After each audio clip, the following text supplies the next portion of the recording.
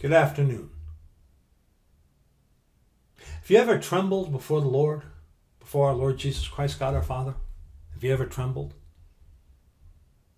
I tremble before our Lord Jesus Christ, God our Father, about what you and I are going to be discussing today, and Lord willing, tomorrow.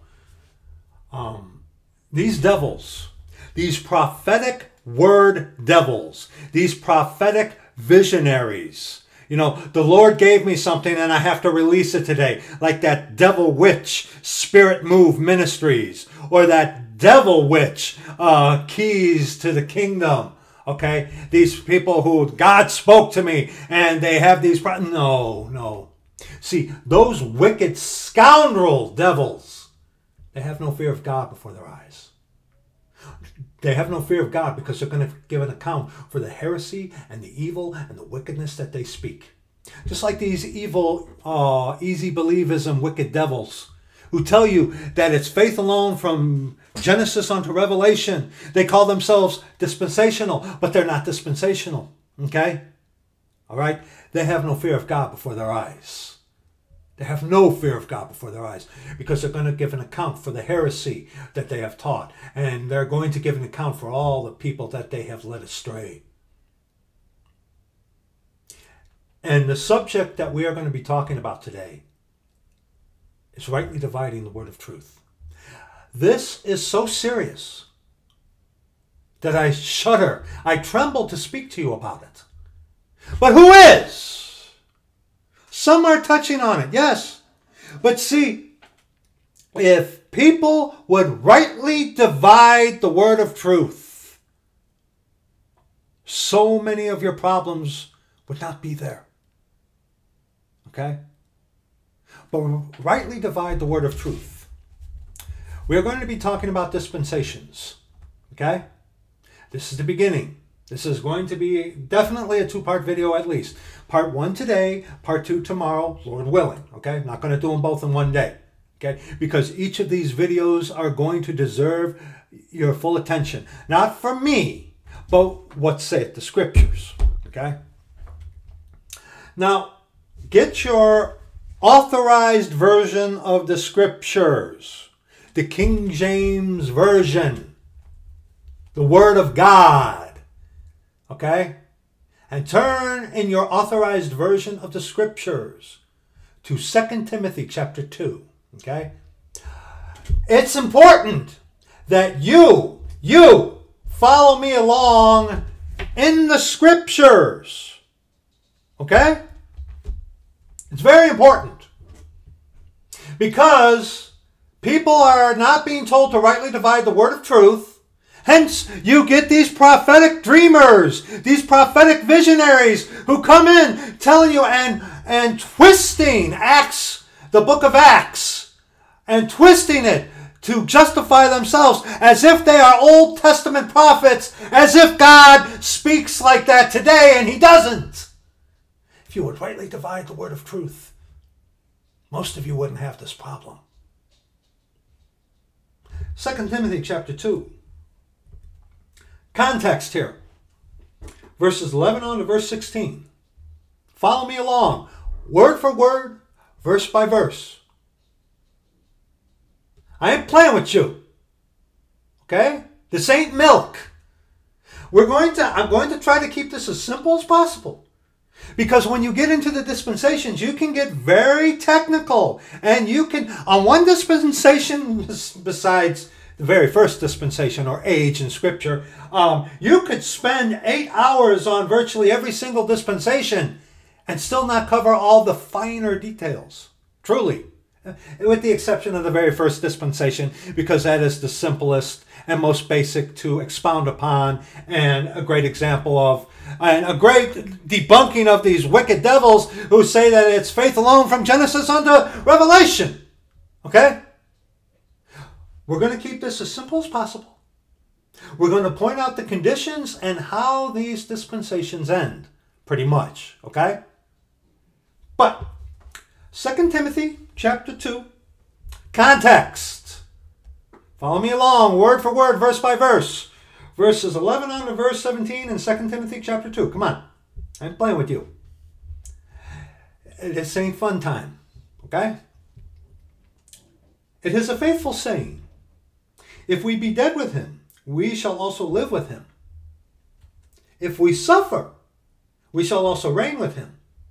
If we deny him, he also will deny us. Now, that's not talking about salvifically, salvation.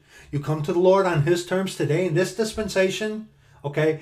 And uh, brokenness, contrition, and fear the Lord. You call upon his name and he save you. You're once saved, always saved, sealed until the day of redemption, eternally secure. This is not talking about salvation, okay? This is talking about other forms of blessing that can come to you for doing things the Lord's way. If you deny him, he will deny you blessings and stuff like that. Um, mercies and that kind of stuff. This is not talking about salvation, okay?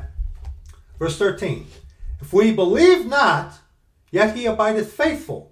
He cannot deny himself. Why? Because we are part of his bones and of his body, okay? We belong unto the Lord. We are not little Christs, but we belong unto him, okay? Of these things put them in remembrance charging them before the Lord that they strive not about words to no profit. To words to no profit. Okay? Words to no profit.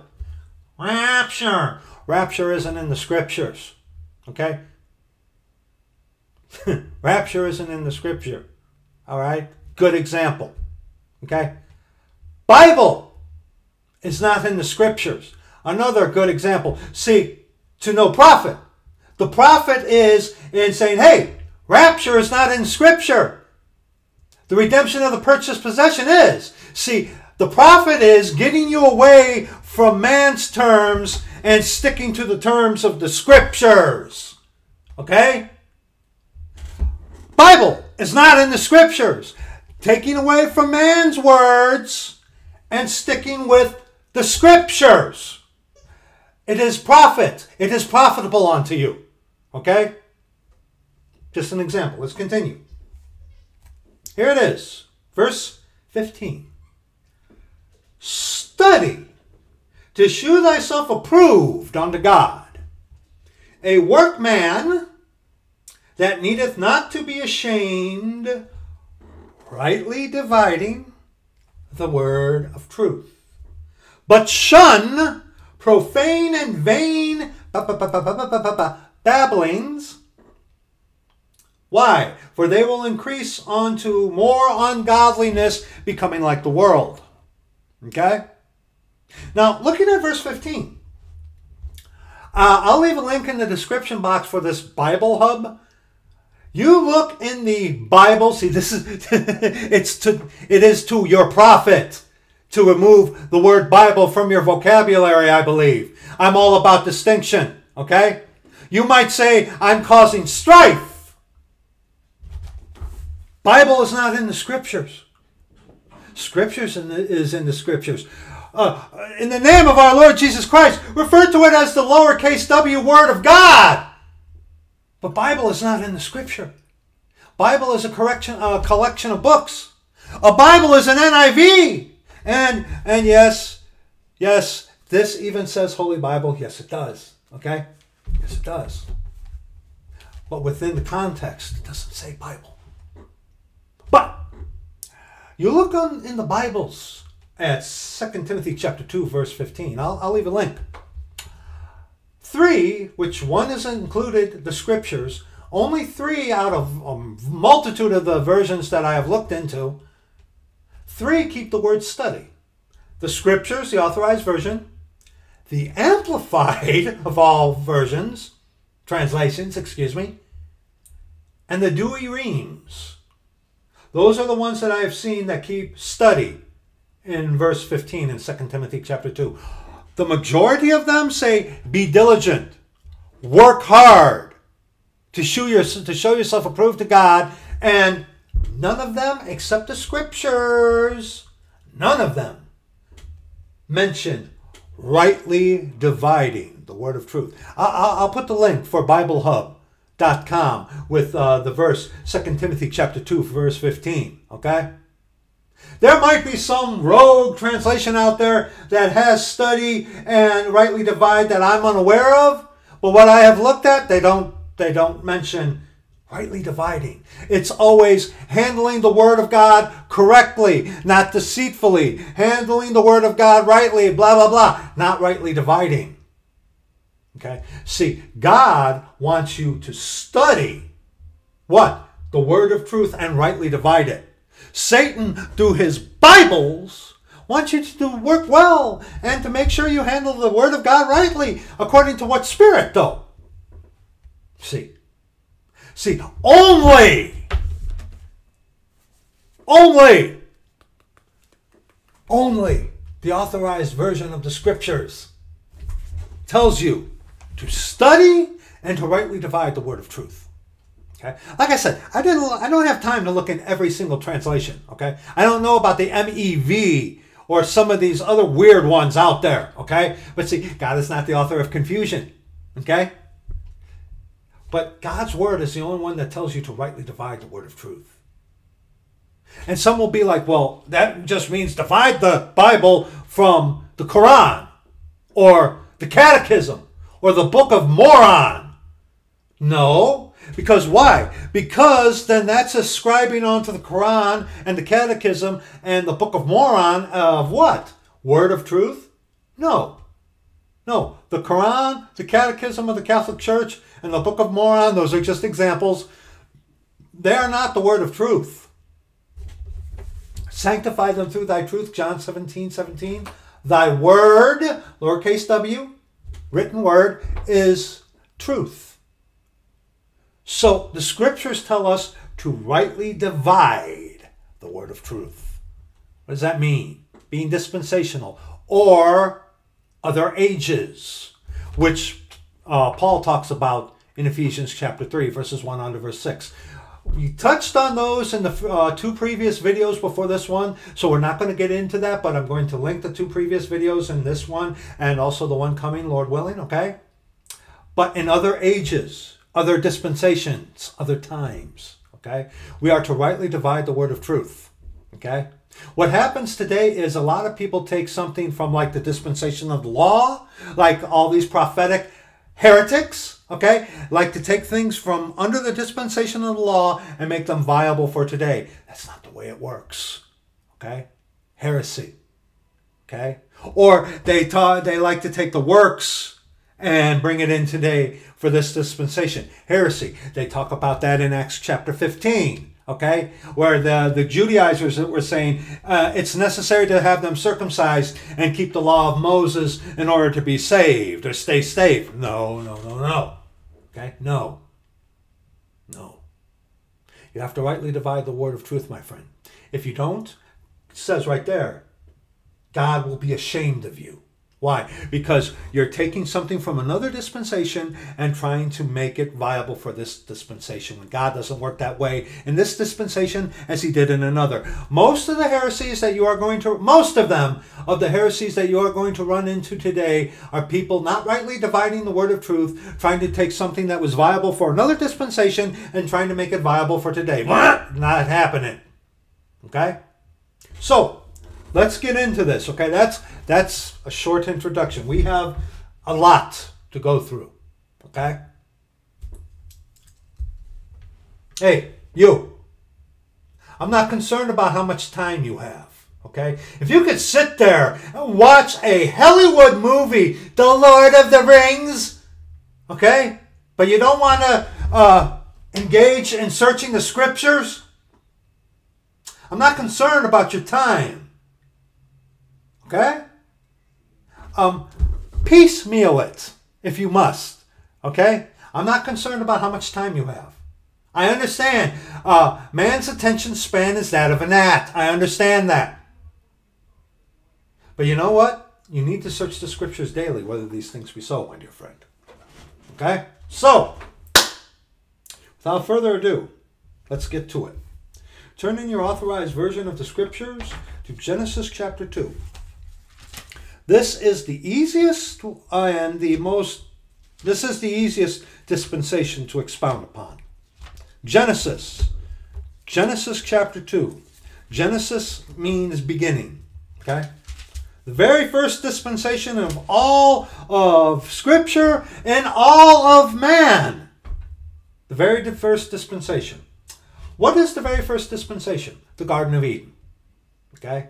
And in the Garden of Eden, where man cre- where God created man, and man named everything and whatnot, and man uh, tended the garden and stuff like that. Remember, uh, man was not made just to be a gardener. Okay, we talked about that before, but the first dispensation. What were the conditions of the first dispensation? First dispensation, there was no sin. Okay, man was made perfect. Man had pristine relationship with God the Father, our Lord Jesus Christ. They saw God, okay? They saw God. This was before the fall, okay? So at the beginning, man was perfect without sin. They only knew God, okay? They only knew God. There was no sin there.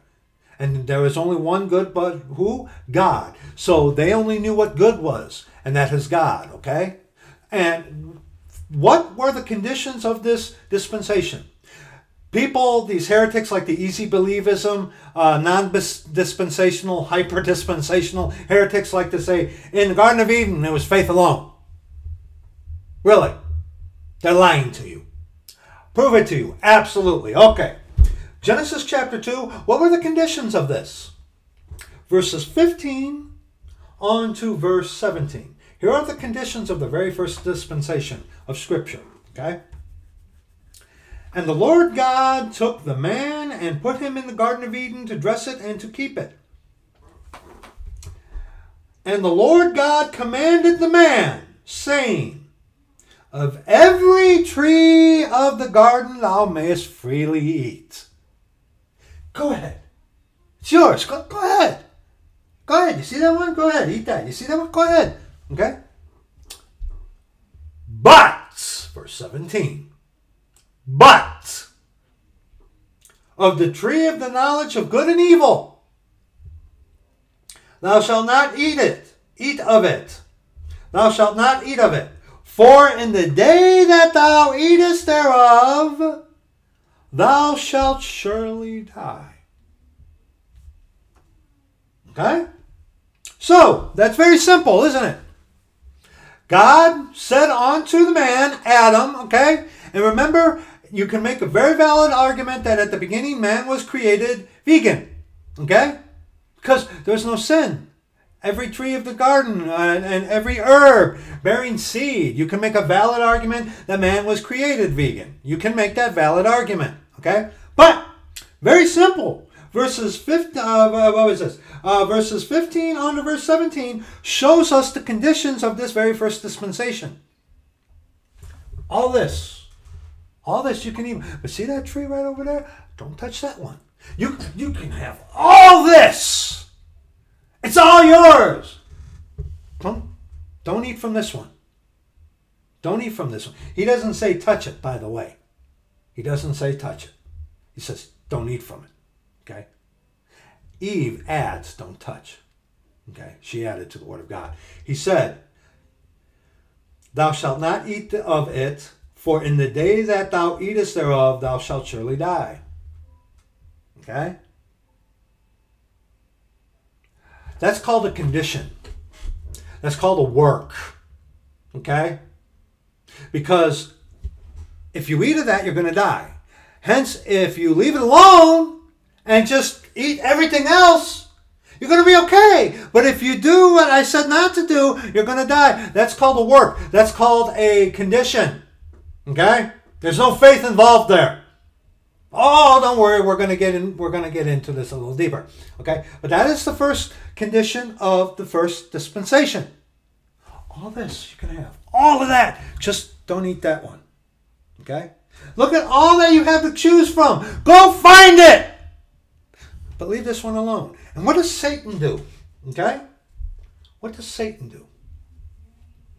Satan comes along in Genesis chapter 3, and we're going to be now we're going to be reading verses 1 on to verse 8. Satan comes along. Okay?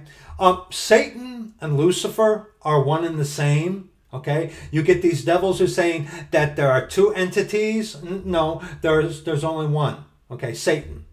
Satan, Lucifer, son of the morning, not light bearer. Okay? Genesis chapter 3, verses 1 on to verse 8.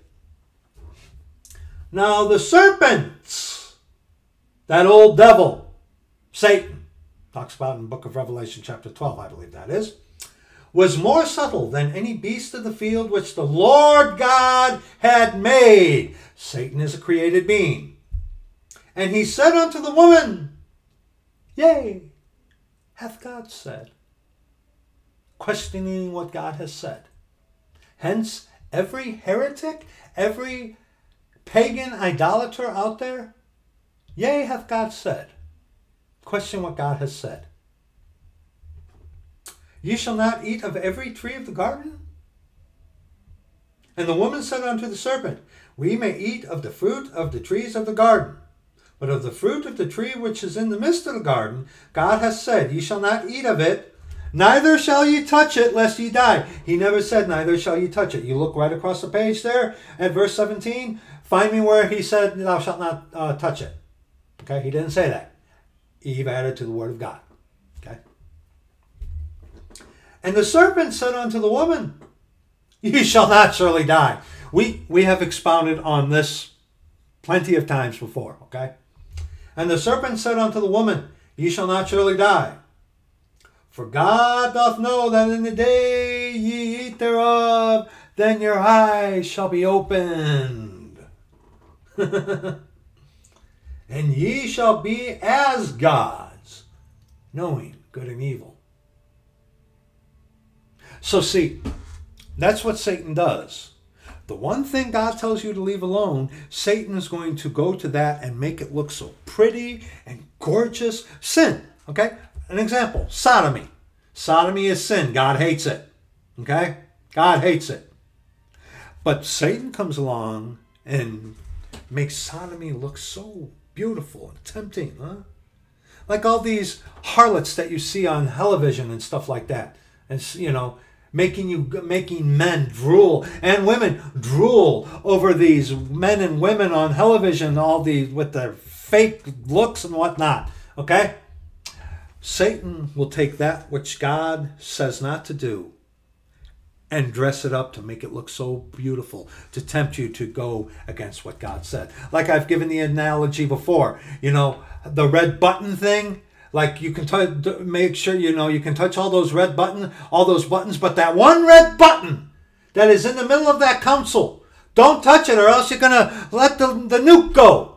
And because of our fallen nature as man, our flesh immediately because of this, you want to touch that red button. You want to go after that thing because it stems from this. See, okay. And uh, Satan says, the serpent says in verse 4, Ye shall not surely die. Um, they did die. Not instantaneously, which Satan was playing off of. Okay? See, they thought, oh, in verse 17, thou shalt surely die, they thought, drop dead instantly. No. Man was originally created immortal, vegan and immortal. Yeah, okay? To live forever. It was a gradual process. Adam lived a thousand years, okay, or 999 years or something like that, okay? Lived a long time. He didn't die gradually. But see, man was created to not die. But see, Satan comes along, says, You won't die. Not instantaneously, no. He, he was right. He was right, not, not right away, no. But eventually you will. It's going to catch up to you. Your sin will find you out. Okay? Let's continue. For God doth know that in the day ye eat thereof, then your eyes shall be opened, and ye shall be as gods, knowing good and evil. See, they only knew what good was. And Satan comes along and says, hey, you eat that, you disobey, you do what God said not to do, then you'll be able to judge what is good and evil, because they only knew what was good. But here, Satan's coming along tempting not at gunpoint, tempting to do evil and disobey what God said. See, that's a work. It's a work. There's no faith involved. God said, don't. Satan comes along and said, God really say that? Go ahead. Look at how beautiful it is. Okay? and ye shall be as gods, knowing good and evil. Man at the beginning of creation only knew what was good. But since they disobeyed, now they know what is evil. Hence, we have a book, the scriptures, which tells us what is good and evil. Why do you think Satan messes with it? Let's continue. And like I just said, and when the woman saw that the tree was good for food, looked good, and that it was pleasant to the eyes, ah, like all sin, Satan makes it look good to your eyes, doesn't he? Yeah. And a tree to desire to and a tree to be desired to make one wise. She took of the fruit thereof and did eat, and gave also unto her husband with her, and he did eat and the eyes of them both were open. And they knew that they were naked, and they sewed fig leaves together and made themselves aprons. Mm-hmm. Yes. Yes. Their eyes were open and they knew they were naked. They knew they were naked. And going down to verse uh, going down to verse 8 uh, let's let's continue reading here. Okay. And the eyes of them both were open, and they knew that they were naked. And they sewed fig leaves together and made themselves aprons. Verse 8 And they heard the voice of the Lord God walking in the garden in the cool of the day. And Adam and his wife hid themselves from the presence of the Lord God amongst the trees of the garden. They heard the voice of the Lord God walking in the garden. How does a voice walk unless he has a body? Adam and Eve saw God. They had a pristine, perfect relationship with God. But they disobeyed. Okay? And not at gunpoint, but they disobeyed.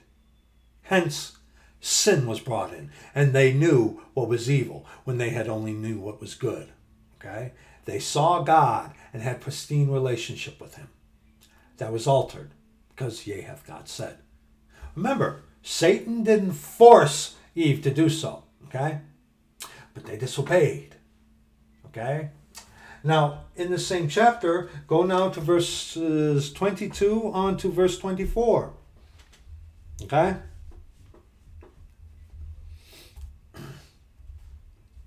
Verses 22 on to verse 24. Those were the conditions of the very first dispensation works. Okay? There was no faith involved. We looked at Genesis chapter 3, verse 8. They saw God.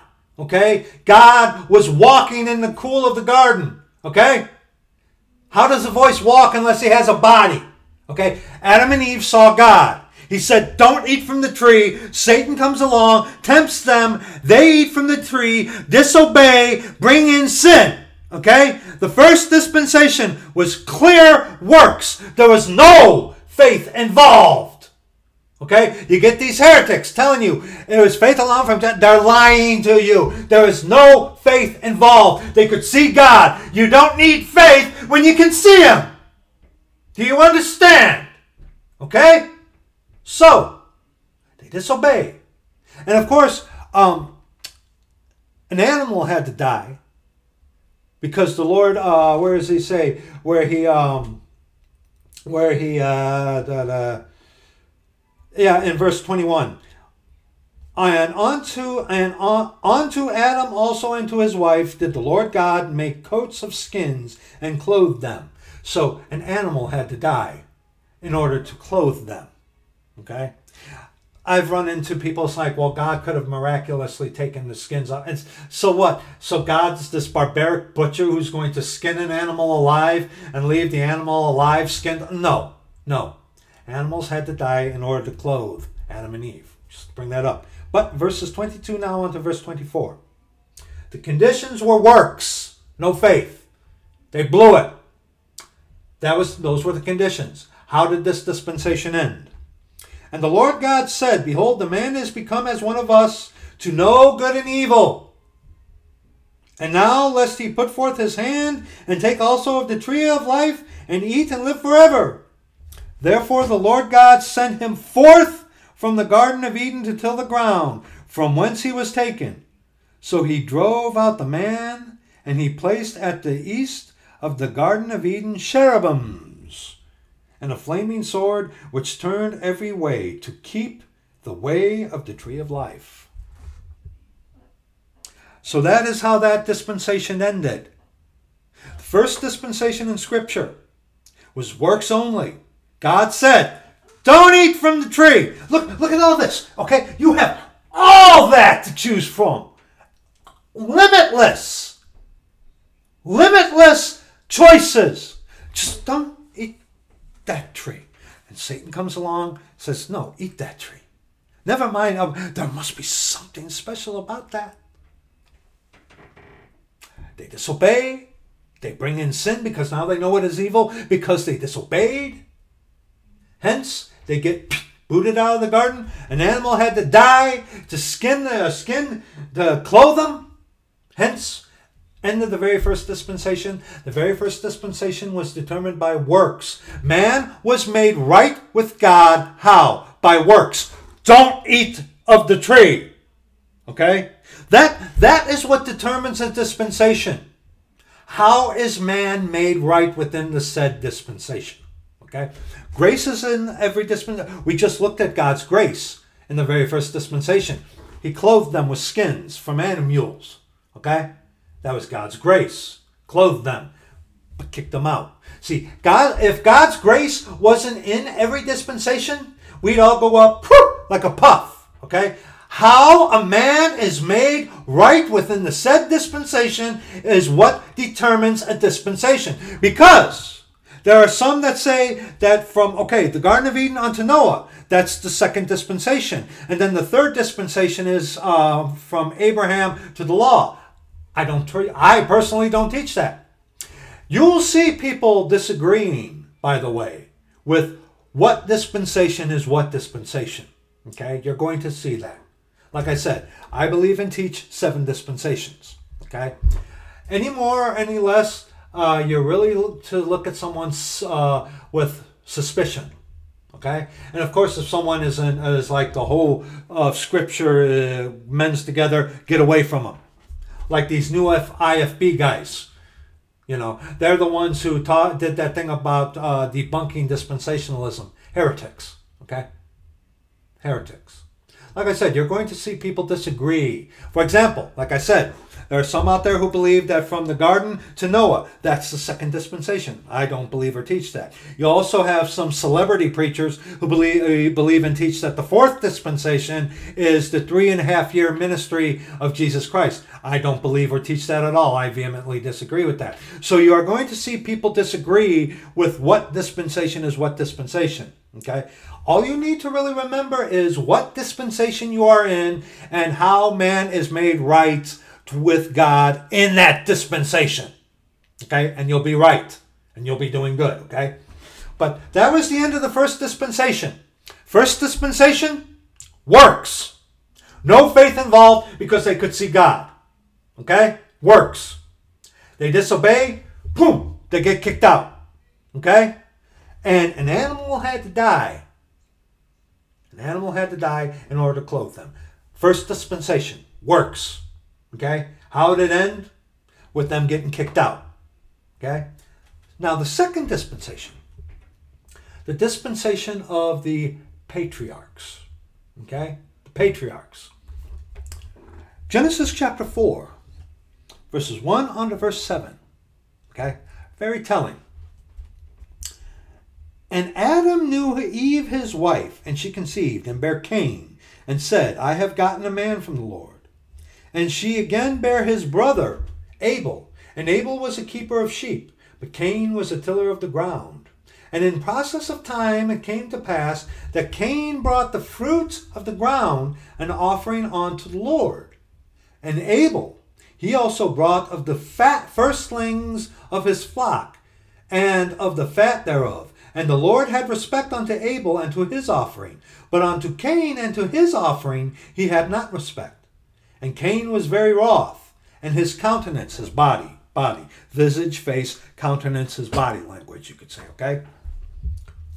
And his countenance fell, And the Lord said unto Cain, Why art thou wroth? And why is thy countenance fallen? If thou do well, if thou do well, do well. Remember that. Shalt thou not be accepted? Remember that. Because this dispensation, the time of the patriarchs, easy believism devil heretics like to say that it's exactly the same today as it was in this dispensation. Uh-uh. Uh-uh. We're going to get into this, okay? But, verse 7, If thou do well, thou sh- shalt thou not be accepted. And if thou doest not well, sin lieth at the door. And unto thee shall be his desire, because you want to touch that big red button. Okay? And thou shalt rule over him. And of course, let's read verse 8. And Cain talked with Abel his brother, and it came to pass when they were in the field that Cain rose up against Abel his brother and slew him. If thou do well. Now, let's first look at this. Cain. Cain. What about Cain? Go to James chapter 3. James chapter 3. James chapter 3. This, this is imperative to understand this within this dispensation, okay? James chapter 3. We want verses 13 on to verse 18. Okay? James, an epistle for the Hebrews during the time for the time of Jacob's trouble. We'll get into that in the next video. James chapter 3, verses 13 on to verse 18. James chapter 3, verses 13 on to verse 18. Who is a wise man and endued with knowledge amongst you? Let him shew out of a good conversation his works with meekness of wisdom. But if ye have bitter envying and strife in your hearts, like Cain did, glory not and lie not against truth. This wisdom descendeth not from above, but is earthly, sensual, led by the senses, devilish. An offering of the fruit of the ground. Okay? Anyone could have taken fruit and here, given it to the Lord. Okay? Okay, keep that in mind. Let's continue. Verse 16. For where envying and strife is, there is confusion and every evil work. And did not Cain slew, uh, slew Abel? Yeah, he did. But the wisdom that is from above is first pure, then peaceable, gentle, and easy to be entreated, full of mercy and good fruits, without partiality, without hypocrisy. And the fruit of righteousness is sown in peace of them that make peace. Okay? And now go to Hebrews chapter 11. Hebrews chapter 11. That's XI if you're using a facsimile copy. Hebrews chapter 11. One verse. Verse 4. By faith, Abel offered unto God a more excellent sacrifice than Cain, by which he obtained witness that he was righteous, God testifying of his gifts, and by it he being dead, yet speaketh. He offered him of the firstling, also synonymous with uh, Jesus Christ is come in the flesh. Okay? Okay? See, Cain offered things of the earth, earthly things. Okay? Good fruits, yes, but he offered them things of the earth. While uh, Abel, Abel offered of his flock. Okay? Living, breathing, bleeding. Okay? Hence, God had respect unto that, typifying um, how God will provide himself a lamb for a burnt offering. Okay? And go to First John now, chapter 3, just a couple of one verse mentions here. First John chapter 3. Okay? First John chapter 3, verse 12. not as Cain, who was of that wicked one. That doesn't mean that Satan was his daddy. No, it does not. The serpent seed doctrine is heresy, okay? Put a link in the description box for that. One second, let me write that down. Okay. First John chapter 3 verses 12. Not as Cain, who was of that wicked one and slew his brother. And wherefore slew he him? Because his own works were evil and his brother's righteous. Yes. Yes. The firstling of his uh, flock denotes the beloved, the choice, the best. When Cain took just, you know, he could have picked up something from off the ground, you know, rotten fruit even, but he took, you know, just anybody could have done that. Okay?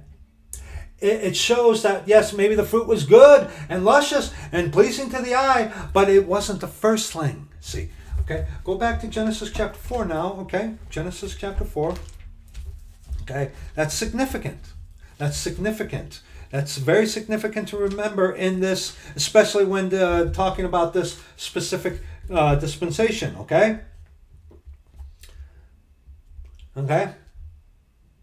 Uh, verse 2. Uh, oh, no, uh, verse 3. And in process of time it came to pass that Cain brought of the fruit of the ground an offering unto the Lord from the earth, earthly things. Okay? Of the ground. We don't know what kind of fruit that was, but see, it shows a little laziness on Cain's part. Okay? But, and Abel he also brought of the firstlings of his flock, the firstlings, the first fruits. Okay? You could say. And of the fat thereof. And the Lord had respect unto Abel and to his offering. But unto Cain and to his offering he had not respect. And Cain was very wroth, and his countenance fell. Cain could have been like, Do you know what I went through to pick up all this fruit, to get all this? And you just. What about Abel? What about Abel? Galatians. Galatians chapter 5. This is a little rabbit trail that is uh, imperative to remember when uh, discussing this dispensation. Okay? Because this dispensation is uh, the dispensation of the patriarchs is similar to this dispensation that we have today, but different. Because what they were focusing their faith upon is what God will do. Where today it has finished. Okay? But more on that in a little bit. Galatians chapter 5. Galatians chapter 5, verses 16 on to the close of the chapter. This I say then, walk in the spirit, and ye shall not fulfill the lusts the lust of the flesh. For the flesh lusteth against the spirit,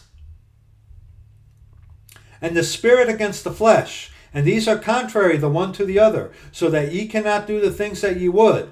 But if ye be led of the Spirit, ye are not under the law. Now the works of the flesh are manifest, which are these adultery, fornication, uncleanness, lasciviousness, idolatry, witchcraft, hatred, kind of like the hatred Cain had when he slew his brother. Yeah? Variance emulations, wrath, strife, seditions, heresies. Hmm. All tell tale of who? Cain. Envyings, murderers, like Cain, drunkenness, revelings, and such like, of the which I tell you before, as I have also told you in time past that they which do such things shall not inherit the kingdom of God. But the fruit of the Spirit is love, joy, peace, long suffering, gentleness, goodness, faith, meekness, temperance. Against such there is no law. And they that are Christ's have crucified the flesh with the affections and lusts. If we live in the Spirit, let us also walk after, walk in the Spirit. Let us not be desirous of, of vainglory, provoking one another, envying another, one another. And see, that typifies the offerings of Cain and Abel. While Cain offered the fruit of the ground, it was a fleshly work. While Abel, the firstling of his flock and the fat thereof, well, yes, you still will brag, that's fleshly, no, but that denotes giving of the best thereof, spiritual. Okay? See, the fruit of the ground, of the ground, earthly, sensual, devilish. The firstlings of the flock, God shall provide himself a lamb. And under the dispensation of the law, you were to provide the best thereof, the firstlings of the flock, for certain uh, sacrifices, okay? See, it works together, okay? Cain's offering was done um, out of self while Abel was self sacrifice, giving of the best thereof. Okay? You see? That's very important to note. That's why we looked in Galatians here. And of course, go to Matthew chapter 23 now. Matthew chapter 23, not Mark. And that is XXIII for those of you using a facsimile copy. Matthew chapter 23, verses 34 and 35. Wherefore, behold, I send unto you prophets and wit and wise men and scribes, and some of them ye shall kill and crucify, and some of them shall ye scourge in your synagogues, and persecute them from city to city, that upon you may come all the righteous blood shed upon the earth, from the righteous blood from the blood of righteous Abel unto the blood of Zacharias, son of Barachias, whom ye slew between the temple and the altar.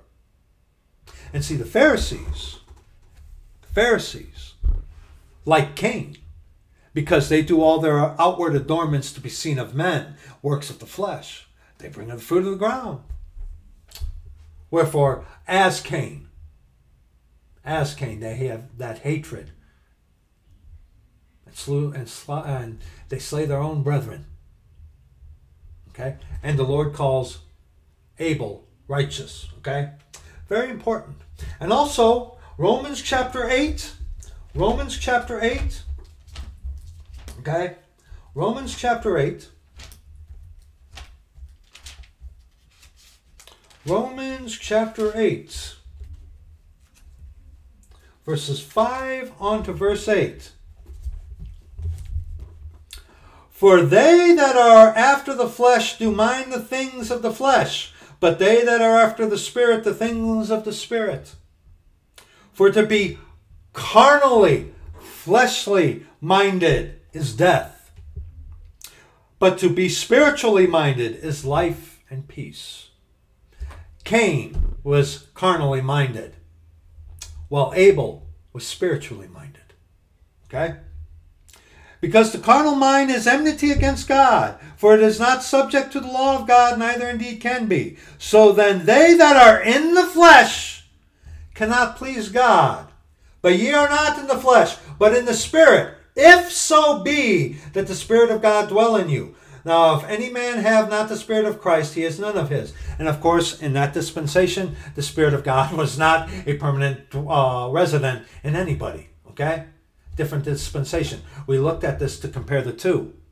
Cain was carnal, Abel was spiritual. Okay? Okay, that's why we looked at that. And of course, Galatians chapter 4, just one verse in Galatians chapter 4. Okay? Galatians chapter 4. Galatians chapter 4, one verse, verse 29. But as then he that was born after the flesh, persecuted him that was born after the Spirit, even so it is now. Oh, yeah. Oh, yeah, even so it is now. Cain, who was carnally minded, Abel, who was spiritually minded. Cain slew Abel. Today, those of us who are truly saved, born again, converted of the church of the living God, have God living within us. Those who are fake, persecute us who are real. Okay? Okay? You see? Now go to Genesis chapter 6. Genesis chapter 6. Verses 9 on to verse 18. How was man made right in this dispensation? Okay? How is man made right in this dispensation? And the dispensation of the patriarchs. Verse 7 in Genesis chapter 4. Remember this. If thou do well. Okay? If there if thou do well. Okay? Shalt thou not be accepted? And if thou doest not well, sin lieth at the door. And unto thee shall be his desire, and thou shalt rule over him. Okay? If thou do well. Genesis chapter 6. Genesis chapter 6, verses 9 on to verse 18. These are the generations of Noah. Noah was a just man and perfect in his generations, and Noah walked with God. And Noah begat three sons Shem, Ham, and Japheth. Sem, it says here in the authorized version here in the 1611. But Shem, or Sem, Shem, Ham, and Japheth. The earth also was corrupt before God, and the earth was filled with violence. Cain's line, which I believe and teach was exterminated in the flood. Check out the serpent seed video. It will be in the description box, okay? Cain's line was exterminated in the flood, but yet sin was in man, okay? We cover that in the serpent seed doc, uh, doctrine video, okay? The, the earth also was corrupt before God, and the earth was filled with violence. And God looked upon the earth, and behold, it was corrupt, for all flesh had corrupted his way upon the earth. And God said unto Noah, The end of all flesh is come before me. For the earth is filled with violence through them. And behold, I will destroy them with the earth. If thou doest well, make thee an ark of gopher wood. Room shalt thou make in the ark, and shall pitch it within and without with pitch. So he said unto him, To make an ark of gopher wood. Okay, let's continue reading. And this is the fashion which thou shalt make of it. The length of the ark shall be three hundred cubits, the breadth of it fifty cubits, and the height of it thirty cubits. Oh, God is very specific, isn't he? Yes, he is. A window shalt thou make to the ark, and in a cubit shalt thou finish it above. And the door of the ark shalt thou set in the side thereof, with lower, second, and third story shalt thou make it. And behold, I, even I, do bring a flood of waters upon the earth, to destroy all flesh, wherein is the breath of life from under heaven. And everything that is in the earth shall die. But with thee will I establish my covenant, and thou shalt come into the ark, thou and thy sons, and thy wife, and thy sons' wives with thee. Okay? So, God said to Noah, build an ark. Okay?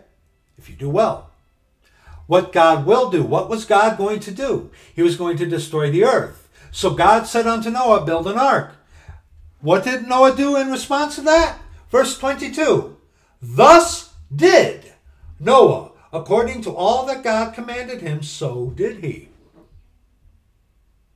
If thou doest well. God said to Noah, Build an ark. God, very specific about his ark. And God told him, you know, build the ark. And Noah built the ark. Okay? He believed what God said. Yes, he did that God was going to bring a flood, that God was going to bring a flood upon the earth. Okay? So, Noah believed what God had said about him going to uh, bring a flood upon the earth. God commanded him, build an ark. God said, I'm going to destroy all the flesh. Okay? Noah believed what God said and did according to what God had said. Okay? He did well. All right? All right? Now go to Genesis chapter 12. See, it was what God was going to do. Noah did well, according to God, because he obeyed God. Okay? And Noah found grace in the eyes of God. All right? So Noah did well because of God, what God commanded him to do. Okay? And Noah obeyed what God had commanded him to do because Noah believed what God had said that God was going to, will do, bring a flood. Do you get it? Okay? Hence the difference between the dispensations. Okay? Okay? Genesis chapter 12. Genesis chapter 12. Verses 1 on to verse 5. Okay? God said to Noah, Build an ark.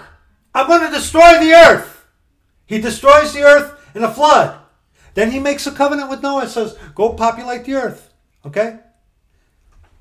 How man was made right in this dispensation didn't change with the flood because God said to Noah, build an ark because I'm going to destroy everything. God believed what Noah, oh, God, uh, excuse me, Noah believed what God had said, and he did. Okay, he believed. Oh wow, you're going to destroy everything. Okay, I, you're going to do this. So he acted upon it. Genesis chapter 12. Genesis chapter 12, verses 1 on to verse 5. Now the Lord had said unto Abram, Get thee out of thy country and from thy kindred and from thy father's house unto a land that I will, I will shew thee. Okay, are, you getting this? Okay, if thou doest well, okay, if thou doest well, okay. The line of Cain was destroyed in the flood, all right, okay. Noah, spiritual. Noah, spiritual. Abram, spiritual, okay.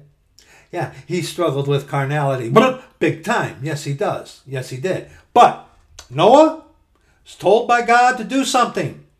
He was warned by God what was coming. And Noah believed everything God said and did what God said. And hence, okay, how man was made right in this dispensation was unaltered. Okay, by Noah's flood.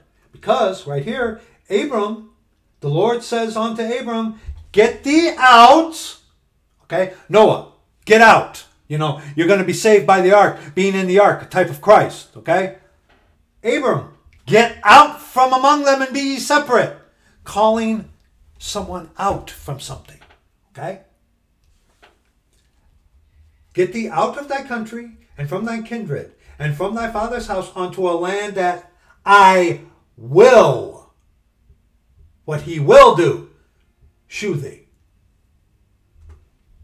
And I will make of thee a great nation, and I will bless thee, and make thy name great, and thou shalt be a blessing, and I will bless them that bless thee, and curse him that curseth thee. And in thee shall all the families of the earth be blessed. So Abram departed as the Lord had spoken unto him, very similar to Noah. And Lot went with him. And Abram was seventy and five years old when he departed out of Haran. And Abram took Sarai his wife, and Lot his brother's son, and all their substance that they had gathered, and the souls that they had gotten in Haran. And they went forth to go into the land of Canaan, and into the land of Canaan they came. So right there, God said unto Abram, Get out onto some. Did you see the I wills? How many I wills are in there? I will in verse 1. Uh, I will in verse 2. I will in verse 2. I will in verse 3. Okay? I will. I will. Okay? I will. I will. I will. All right? Um, Genesis chapter 15. Genesis chapter 15 now, okay? Genesis chapter 15, verses 1 on to verse 6. After these things, the, Lo- the word of the Lord, we, we covered this in the previous videos, but we have to cover it here. After these things, the word of the Lord came unto Abram in a vision, saying, Fear not, Abram, I am thy shield and thy exceeding great reward. And Abram said, Lord God, what wilt thou give me, seeing I go childless? And the steward of my house is this Eliezer of Damascus. And Abram said, Behold, to me thou hast given no seed, and lo, one born in mine in my house is mine heir. And behold, the word of the Lord came unto him, saying, This shall not be thine heir, but he that shall come forth out of thine own bowels shall be thine heir. And he brought him forth abroad and said, Look now toward heaven, towards heaven, and tell the stars, if thou be able to number them. And he said unto him, So shall thy seed be. Still, Lord, uh, the Lord is promising Abraham something that he will do. Okay? What he will do. And what were we reading to? Verse 6. And he believed in the Lord, and he counted it to him for righteousness. See, in this dispensation, just like Noah, Abram believed what God had said he was going to do. And because he believed in what he said God was going to do, he acted upon that belief. See, the faith in what they were having is what God would do. After the flood, repopulate the earth, what God will do. The land that you see, I will give to thy seed, what God will do. To the land that I will shew thee. Okay? Okay? In this dispensation, the time of the patriarchs, okay, it was faith in what God will do. Okay? Your faith in what he, the faith was in what he was going to do. And remember, the law was not given yet. Okay? There were no sacrifices for sins being made. There were sacrifices made. Yes, there were but not according to the law because the law was not given. Yes, the law was written in man's hearts. We've talked about that before, okay? But see, in this dispensation, it was what God will do. In this today's dispensation, it is finished.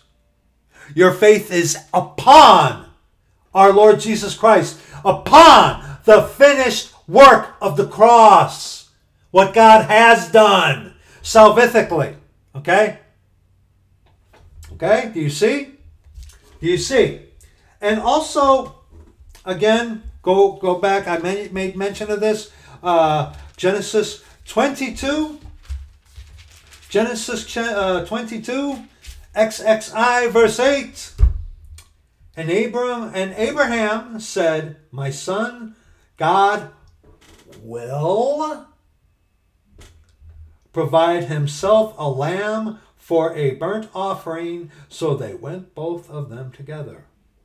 And of course, in the context, there was uh, a ram caught in the thicket. But this is this is truly prophetic, talking about our Lord Jesus Christ, God our Father, God manifest in the flesh. Jesus Christ is come in the flesh. Okay, prophetic.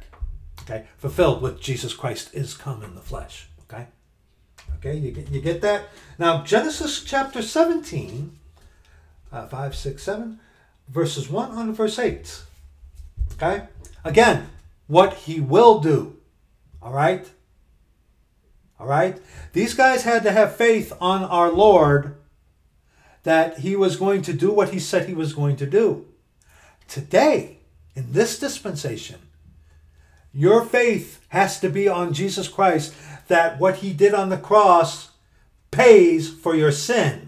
Okay? You have faith on him to forgive you your sin because you come to him broken of your self righteousness, sorry because it's your fault. And in fear of him, you call upon his name and he save you. And you are trusting upon him that what he has done, that he has saved you. Okay? That's the difference between the discipline, and not to mention, of course, in the time of the patriarchs was no permanence of the Holy Ghost. Okay? There was no seal until the day of redemption. No permanent residence within. Okay, in the very first dispensation. Excuse me, in this the second dispensation. Don't forget that. Don't forget that. Okay? Now, Genesis chapter 17, verses 1 on to verse 8. Okay? And when Abram was 90 years old and nine, the Lord appeared to Abram and said unto him, I am the Almighty God. Walk before me and be thou perfect. And here, I will make my covenant between me and thee, and will multiply thee exceedingly. Okay? And Abram fell on his face, and God talked with him, saying, As for me, behold, my covenant is with thee, and thou shalt be a father of many nations. Neither shall thy name any more be called Abram, but thy name shall be Abraham. What does Abraham mean? For a father of many nations have I made thee. And of course, our, our apostle for today, uh, the apostle Paul, talks about that in Romans chapter 4, okay? And Abraham's seed, I'll link that in the description box. Hold on one second. Let me write that down so I don't forget it. Okay, one second. Okay, okay. Verse 6. And I will. Did we read verse 5? Yes, we did. And I will make thee exceeding fruitful, and I will. I will make nations of thee, and kings shall come out of thee. And I will. Are you catching the I wills? That is synonymous for the dispensation of the patriarchs. I will. I will. Okay? The dispensation of the patriarchs after the Garden of Eden onto the giving of the law. Okay? First dispensation is the Garden of Eden. Second dispensation is the time of the patriarchs. Okay? Okay? And how is one made right with God? Trusting on the Lord and what He will do and acting on your trust on Him of what He will do. Noah in the ark, getting uh, Abraham, Abram, who right here became Abraham, getting out, trusting in the Lord and what He will do. Okay? Okay? Similar to today, but different. Okay? Don't let these easy believism heretics fool you. Okay? Let's continue. Verse 7 And I will, I will establish my covenant between me and thee, and thy seed after thee in their generations, for an everlasting covenant to be a God unto thee, and to thy seed after thee.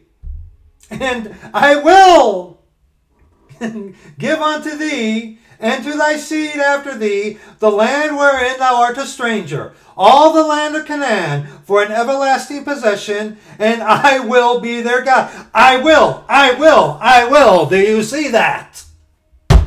Do you see that? Please tell me you do. I know you do. I know you do. You, you have to. You have to see that. Okay? Hence, again, the dispensation of the patriarchs. God said to Noah, Build an ark because I'm going to destroy everything. Noah believed what God said and he acted on that belief, believing what God said is going to happen. Noah, okay? Noah, God said, Hey, get out of here unto a land that I will shew thee. And we read, God, uh, Abraham believed God, and God counted that to him for righteousness because Abraham believed, number one, what God said, and number two, believed what God will do. Okay? That's what it was like. That's how a man was made right in this dispensation, the time of the patriarchs. Okay? And Hebrews chapter 11. And it is written like this in the book of Hebrews, chapter 11, for the time of uh, Jacob's trouble, because after this dispensation is over, and once the Jews in the time of Jacob's trouble get it, they're going to go to the book of Hebrews and the book of James to realize what they've missed. And hence, they're going to have to have faith that God will do that he will come back to be their king during the time of Jacob's trouble. But see, during the time of Jacob's trouble, it's faith and works. Getting ahead of ourselves, we'll, we'll expound on that plenty in the next video, okay? But Hebrews chapter 11. Okay? You, you mustn't be afraid of going to the book of Hebrews. You got to remember a majority of it doctrinally is not for us today. Yes, it's in the New Testament. Yes, it is. And there are things that cross dispensational lines. Yes, there is. Yes, there is. But see, in the book of Hebrews, it talks about someone losing their uh, salvation and not getting it back. How does that jive for today? It doesn't. Why? Because the book of Hebrews is specifically written for the Jews, the Hebrews, during the time of Jacob's trouble. There are things that cross dispensational lines. Yes, there are. Okay? But you got to remember the book of Hebrews and the book of James are time of Jacob's trouble epistles. While there are doctrines that cross dispensational lines, yes, much instruction in righteousness, you got to be careful with doctrine within them. Okay? But Hebrews chapter 11, Hebrews chapter 11, verses 6 on to verse 10. Okay? But without faith, it is impossible to please him. For he that cometh to God must believe that he is, and that he is a rewarder of them that diligently seek him. And see, during the time of Jacob's trouble, this is going to be more applicable. Okay? By faith, Noah, being warned of God of things not seen as yet. Okay? Moved with fear, prepared an ark to the saving of his house, by the which he condemned the world and became heir of the righteousness which is by faith. By faith, Abraham, when he was called to go out into a place which he should after receive for an inheritance, obeyed and went out, not knowing whither he went. By faith, he sojourned in the land of promise, as in a strange country, dwelling in tabernacles with Isaac and Jacob, the heirs with him of the same promise. Isaac and Jacob, the Hebraic line, okay? Which descends from Shem, okay? For he looked for a city which hath foundations, whose builder and maker is God. So, trusting God in what they couldn't see, okay? We, today we walk by faith, yes, not by sight, yes, but the difference is our faith is in what? It is finished. It wasn't finished during the dispensation of the patriarch, patriarchs, you wicked, easy believism devils. Similar to today, but different. Totally different. Okay? And while we're here in Hebrews, uh, let's look at verses 13 and verse 16. These all died in faith, not having received the promises, but having seen them afar off, were persuaded of them and embraced them and confessed that they were strangers and pilgrims on earth. For they that say such things plainly declare plainly that they seek a country. And truly, if they had been mindful of that country from whence they came out, they might have opportunity to have returned. But now they desire a better country, that is, an heavenly. Wherefore God is not ashamed to be called their God, for he hath prepared for them a city. So, the conditions, the conditions of the second dispensation, the conditions of it were what? Were what? Faith in what God will do and acting on that faith in what God will do, which we just examined in the book of Hebrews and in the chapters in the book of Genesis that we looked at. Okay? That was synonymous. And also, you can look at Isaac. Okay? He and uh, I will be with thee and shew thee these things and do these unto the unto you. I will, Jacob. Okay, I will be with thee. It's it was I will what I will do. Okay, that is what made the second dispensation. That is how people were made right with God in the second dispensation. Okay? Similar to today. But see, it wasn't finished. It wasn't finished. He was going to establish what? The law. The law was coming. That's the third dispensation. But the second dispensation, after the dispensation of the Garden of Eden, the Garden of Eden was works. The dispensation of the patriarchs, yes, by faith, but also there was an element of works there. Okay? The faith was in what God will do, and they acted on what God will do. Okay? Also, that is similar in, in the dispensation of the law. But see, totally different uh, dispensation. Okay? Totally dispensation. So, one was made right in the dispensation of the patriarchs by having faith in what God will do and obedience upon that faith of what God will do. That is testified throughout the entire dispensation of the patriarchs. Okay? That's how men were made right in that dispensation. Similar to ours today, but totally different. How did the dispensation of the patriarchs end? Exodus. Exodus chapter 12. How did the dispensation of the patriarchs end? Exodus chapter 12. We will be reading verses 29 on to verse 36. And it came to pass that at midnight the Lord smote all the firstborn in the land of Egypt. A lot of people died. Yeah. From the firstborn of Pharaoh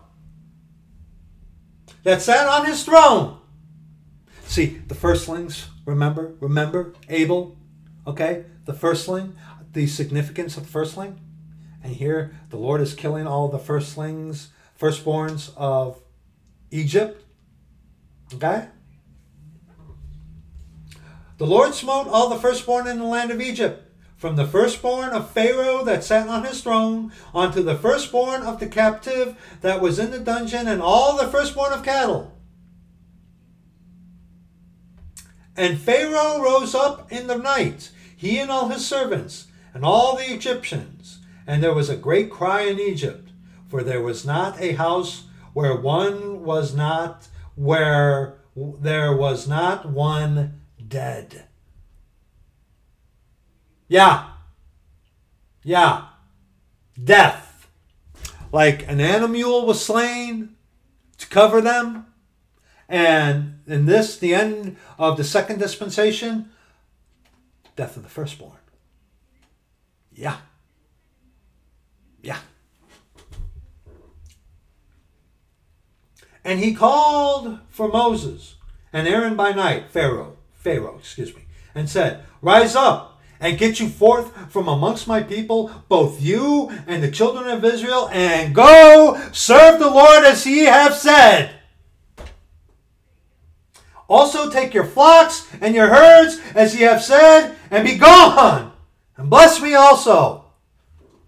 How so? Uh, by getting out. Like, get out of here! Okay? And what are we reading to? Verse 36.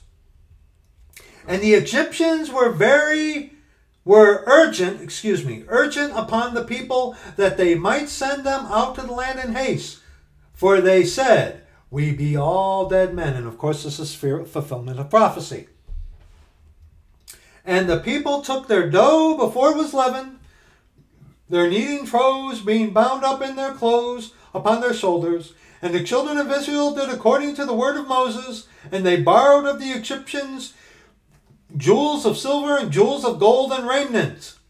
And the Lord gave the people favor in the sight of the Egyptians, so that they lent unto them such things as they required, and they spoiled the Egyptians.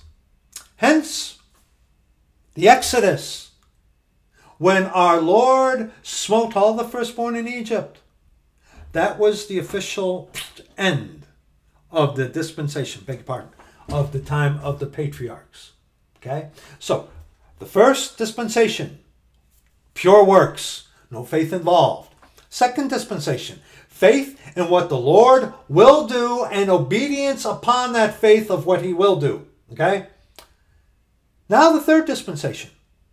First dispensation ended with them getting kicked out of the uh, Garden of Eden. An animal had to die to clothe them with uh, skins. Second dispensation ended with the Exodus, the firstborn of Egypt. The third dispensation, the dispensation of the law, which many of the heretics of today like to take things from that this dispensation of the law and carry them over to today. How do you sum up the dispensation of the law? How do you sum it up? Okay? Exodus chapter 15, verses 23 on to verse 26. Now you got to remember, in the dispensation of the patriarchs, that was on to men individually. But see, under the law, these were given on to a nation. And if anyone wanted to be right within this dispensation of the law, you had to do what was uh, written in the law. Okay?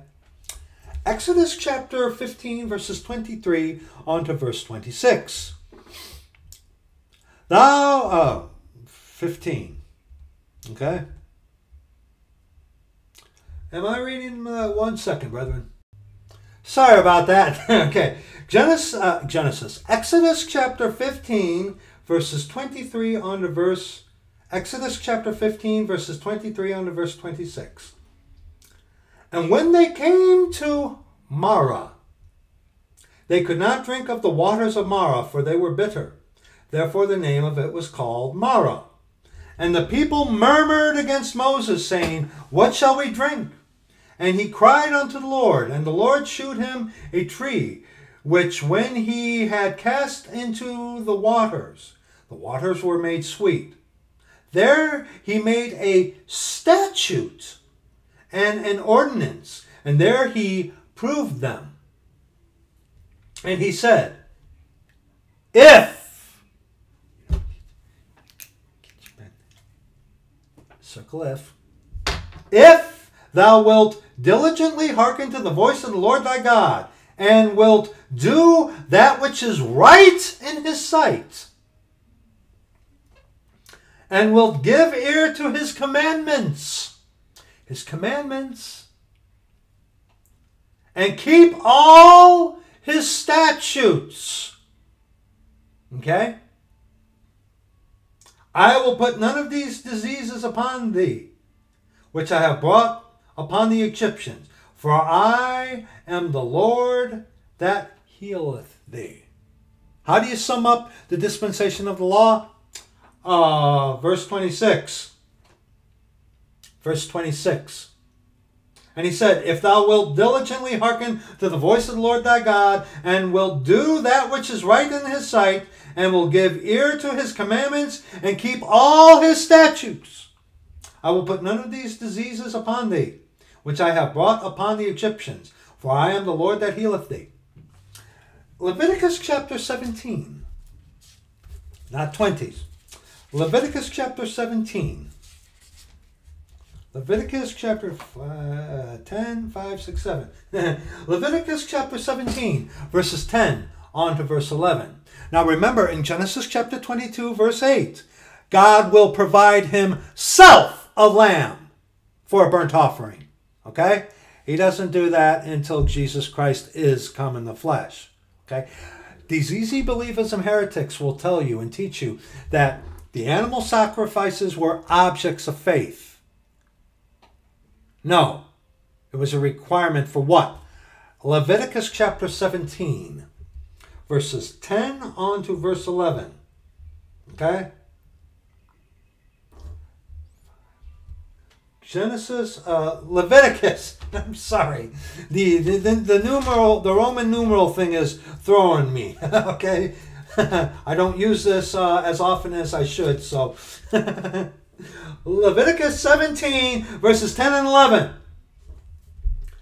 And whatsoever man there be of the house of Israel, or of the stranger that sojourn among you, that eateth any manner of blood, I will even set my face against that soul that eateth blood, and will cut him off from among his people.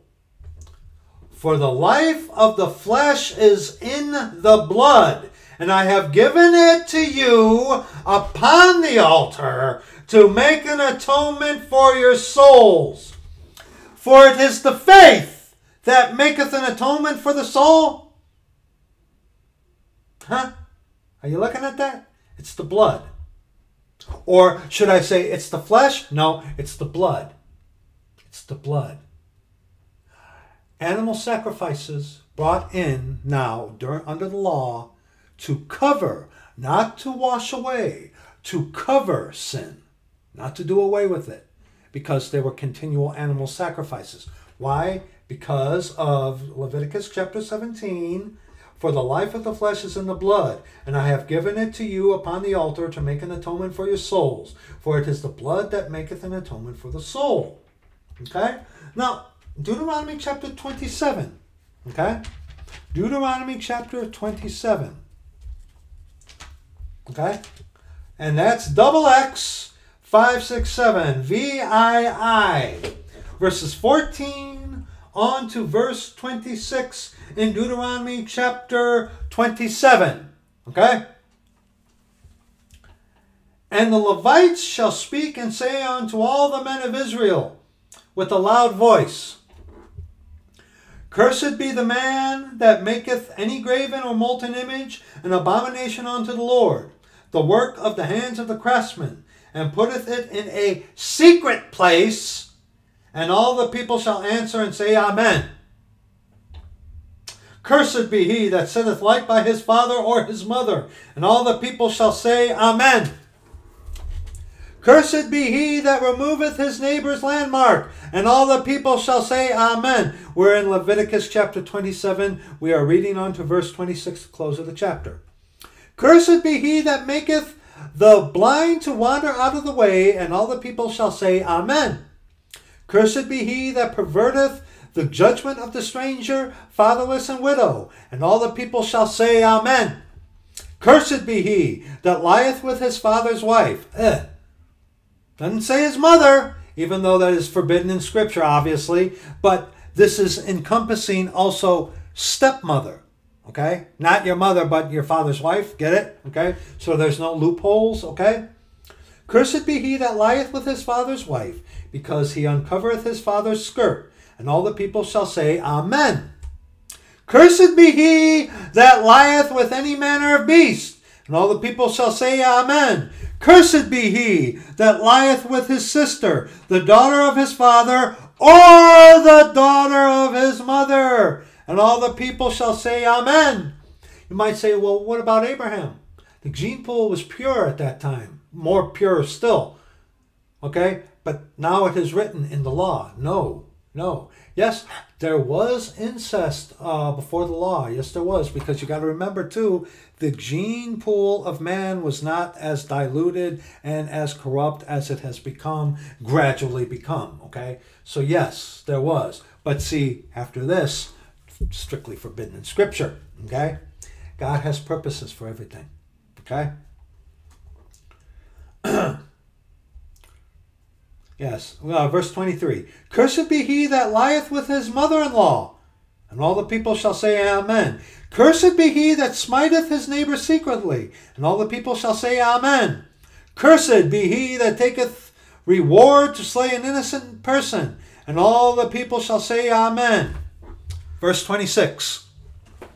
Cursed be he that confirmeth not all the words of this law to do them and all the people shall say, Amen. Okay? All right? Under the dispensation of the law, you had to keep the law in order to be right with God. Your faith was in that God would honor your sacrifices that you would make according to the law. So you would have faith that God would honor you, be honor you and forgive you and all that kind of stuff because you did what he said in the law, okay? The animal sacrifices, you wicked satanic heretics, were not objects of faith. No, they were required according to the law to cover uh, to cover sin, to make atonement, okay, to cover it. But they had to continually do it. See, that's why the blood of Jesus Christ, which cleanseth away all sin, while the blood of bulls and of goats, bulls and goats covered, okay? The blood of bulls and goats covered. The blood of God cleanseth away. See because they had to continually offer them not as objects of faith. That's ridiculous. That's heresy. That's lunacy. Okay? Totally disproven by Scripture. Okay? They had to do the animal sacrifices. Okay? So, the law was brought in. Under the dispensation of the law, a man was made right with God by what? Faith and works. Faith that God would honor the works that you do according to his law and statutes that he gave you. Okay? That's how one was made right in the dispensation of the law faith and works. Not pure works, like in the first dispensation, because you could they didn't see God like they did in the first dispensation. Not like the dispensation of the patriarchs, because there was no law given yet. Okay? It was what God will do. And God was establishing a law and a nation here. Okay? And here's the thing, too, about the dispensation of the law. Okay? God spoke through three, three avenues priest, prophet, and king. Yeah, Church of the Living God, brother, sister. Yeah, priest, prophet, and king. Oh, who who who fulfills all three of those? Yeah, our Lord Jesus Christ, God our Father. After the order of Melchizedek. Yes, of course. Priest, prophet, and king. God spoke through priest, prophet, and king during this dispensation. Okay? Ezekiel Go to Ezekiel chapter 44. Okay? One second, brethren. Beg your pardon. Ezekiel chapter 44. Okay? A good summation here of um, how it is under the law. Okay? And remember, Ezekiel was a prophet. Okay? Ezekiel chapter 44, we want verses 23 and 24. Okay? And in controversies, they, the priests, shall stand in judgment, and they shall judge it according to my judgments. And they shall keep my laws and my statutes in all my assemblies, and they shall hallow my Sabbaths. And they shall come at no dead person to defile themselves, but for father or for, oh, excuse me. I, I we excuse me verses 23 on to verse 24. I didn't read verse 23. Beg your pardon, okay? Let's do this again. Ezekiel 44, verses 23 on to verse 24. The priests, and they shall teach my people the difference between the holy and profane, and cause men to discern between the unclean and the clean. The function of the priest. The priest also did the animal sacrifices okay, and did the shedding of blood and the sprinkling of stuff like that. But also, the priest was what? And they shall teach my people the difference between the holy and profane, and cause men to discern between the unclean and the clean. Let's read verse 24 again. And in controversy they shall stand in judgment, and they shall judge it according to my judgments, and they shall keep my laws and my statutes in, in all mine assemblies, and they shall hallow my Sabbaths. So the priest, they did the works of the sacrifices, the sprinkling of blood, and the killing of the heifer, and the stuff like that, and the incense, the offering of the shewbread and whatnot, but they also taught the people the law the truth, the statutes, okay? The function of the Old Testament Levitical scriptural priesthood, okay? And go to Malachi. More on this. Malachi. Malachi chapter 2, verses 1 on to verse 7. Ezekiel that we looked at and Malachi are describing to you the function of priests. Okay? Uh, and Ezekiel and Malachi, the priest went far away from, so they had to be reminded of what their function was, which is why we are looking at it today, right now, so we can know what it was like under the dispensation of the law. Okay? Malachi chapter 2, verses 1 on to verse 7. And now, O ye priests, this commandment is for you. If ye will not hear, and if ye will not lay it to heart, to give glory unto my name, saith the Lord of hosts, I will even send a curse upon you, and will curse your blessings. Yea, I have cursed them already, because ye do not lay it to heart. Behold, I will corrupt your seed, and spread dung upon your faces, even the dung of your solemn feasts, and one shall take you away with it. And ye shall know that I that I have sent this commandment unto you, that I may that my covenant, excuse me, might be with Levi, saith the Lord of hosts. My covenant was with him of life and peace, and I gave them to him. For the fear wherewith he feared me, and was afraid before my face, before my name, excuse me, excuse me, before my name, excuse me.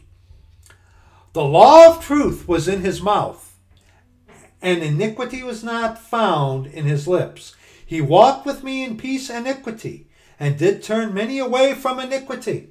Yes, because the priest is supposed to teach the law and teach the difference between the holy and profane. Okay? For the priest's lips should keep knowledge. Knowledge is not wisdom. Wisdom, uh, uh, knowledge proceeds from wisdom. But wisdom and knowledge, they are two different things. You can have knowledge and have not wisdom. If you have wisdom, which is the fear of the Lord, you will have knowledge. Okay? Things that are different are not the same. They're two different things. Remember that, okay? For the priest's lips should teach knowledge, and they should seek the law at his mouth, for he is the messenger of the Lord of hosts. Okay? Seek the law, what God has said, okay? So the function of the priest was to offer the sacrifices and teach the precepts of the law, okay? for he was the the God for our Lord's messenger. Yes, he was. Okay? So in the Old Testament, God spake through priests, through the law, through the scriptures. Also, he spake through what? Prophets. Okay? Numbers chapter 12. Numbers chapter 12. Yes, we have to go back there yet again. Okay? Numbers chapter 12. Numbers chapter 12. Numbers chapter 12, verse 6. We covered this in the first uh, two previous videos, but Numbers chapter 12, verse 6. And he said, Hear now my words. If there be a prophet among you, I the Lord will make myself will make myself known unto him in a vision, and I will speak unto him in a dream. Okay? The prophet was the mouthpiece of the Lord, like Elijah and Elisha, before the Lord of hosts, before whom I stand. The priests, the knowledge of what? The law, the knowledge of the Lord, and were to impart the statutes, the commandments, the judgments, the precepts, the testimonies, and stuff like that. But the prophet was the mouthpiece, okay? The mouthpiece, the uh, uh, the the the front man, if you will, okay? The one who did a lot of the warning, okay? Hosea, Hosea, chapter six. Hosea chapter six. Hosea chapter 6. Not Zephaniah. Hosea. Hosea is after Daniel. Hosea chapter 6, verses 4 and 5. O Ephraim, Hosea chapter 6, verses 4 and 5. O Ephraim, what shall I do unto thee? O Judah, what shall I do unto thee? For your goodness is as a morning cloud, and as the early dew it goeth away. Remember that. Remember that. As the morning cloud it goeth away. Remember that. Remember that. Therefore have I hewed them by the prophets. I have slain them by the words of my mouth. And thy judgments are as the light that goeth forth. You will you read the book of Haggai. Okay, the prophets were very stinging. The prophets stung the people when they diverted themselves away from the law. Okay? They diverted themselves away from the priests, from the statutes and commandments. The Lord would send a prophet. Hey! Hey! Hosea, Isaiah, Ezekiel, Daniel. Okay? Okay? The Lord used prophets as his instruments, the prophets as his instruments of warning, correction, guidance. Okay? Guidance, yes. Okay? The priests taught the law, but the prophets were the ones who were, you know, giving the warning. All of a sudden, the Spirit of the Lord could come upon someone under the Old Testament, and the Lord could use that man to be his mouthpiece. Okay? While the priests had the commandments, the testimonies, and the statutes. Yes, the prophet, the Spirit of the Lord would guide them. Okay? Okay? You understand? And also on that, we're going to touch on that here in just a minute. We're just going to we're going to touch on that in a minute during this dispensation, during this dispensation, okay, the Holy Ghost, the Spirit of the Lord could come upon people. Okay? For example, you read about Samson, how the Spirit of the Lord came upon him. And some of these prophets, the Spirit of the Lord came upon them. And how King Saul, the Spirit of the Lord came upon him. See, under the law, the Spirit of God, the Holy Ghost, would come upon people. Yes, He would. Yes, He would. And the Spirit of the Lord within that person would give utterance. Okay? The prophet would give utterance. Yes, in this dispensation. Okay? Yes, He would. The Lord in the Old Testament uh, law, under the law, He spake through the priests because they had the law. Through the prophets, okay? His mouthpiece his mouthpiece, like Elijah and Elisha before the Lord God before whom I stand. Okay? All right? And also through a king. Okay? Go to 1 Samuel. Go to 1 Samuel chapter 10. 1 Samuel chapter 10. Okay? 1 Samuel chapter 10.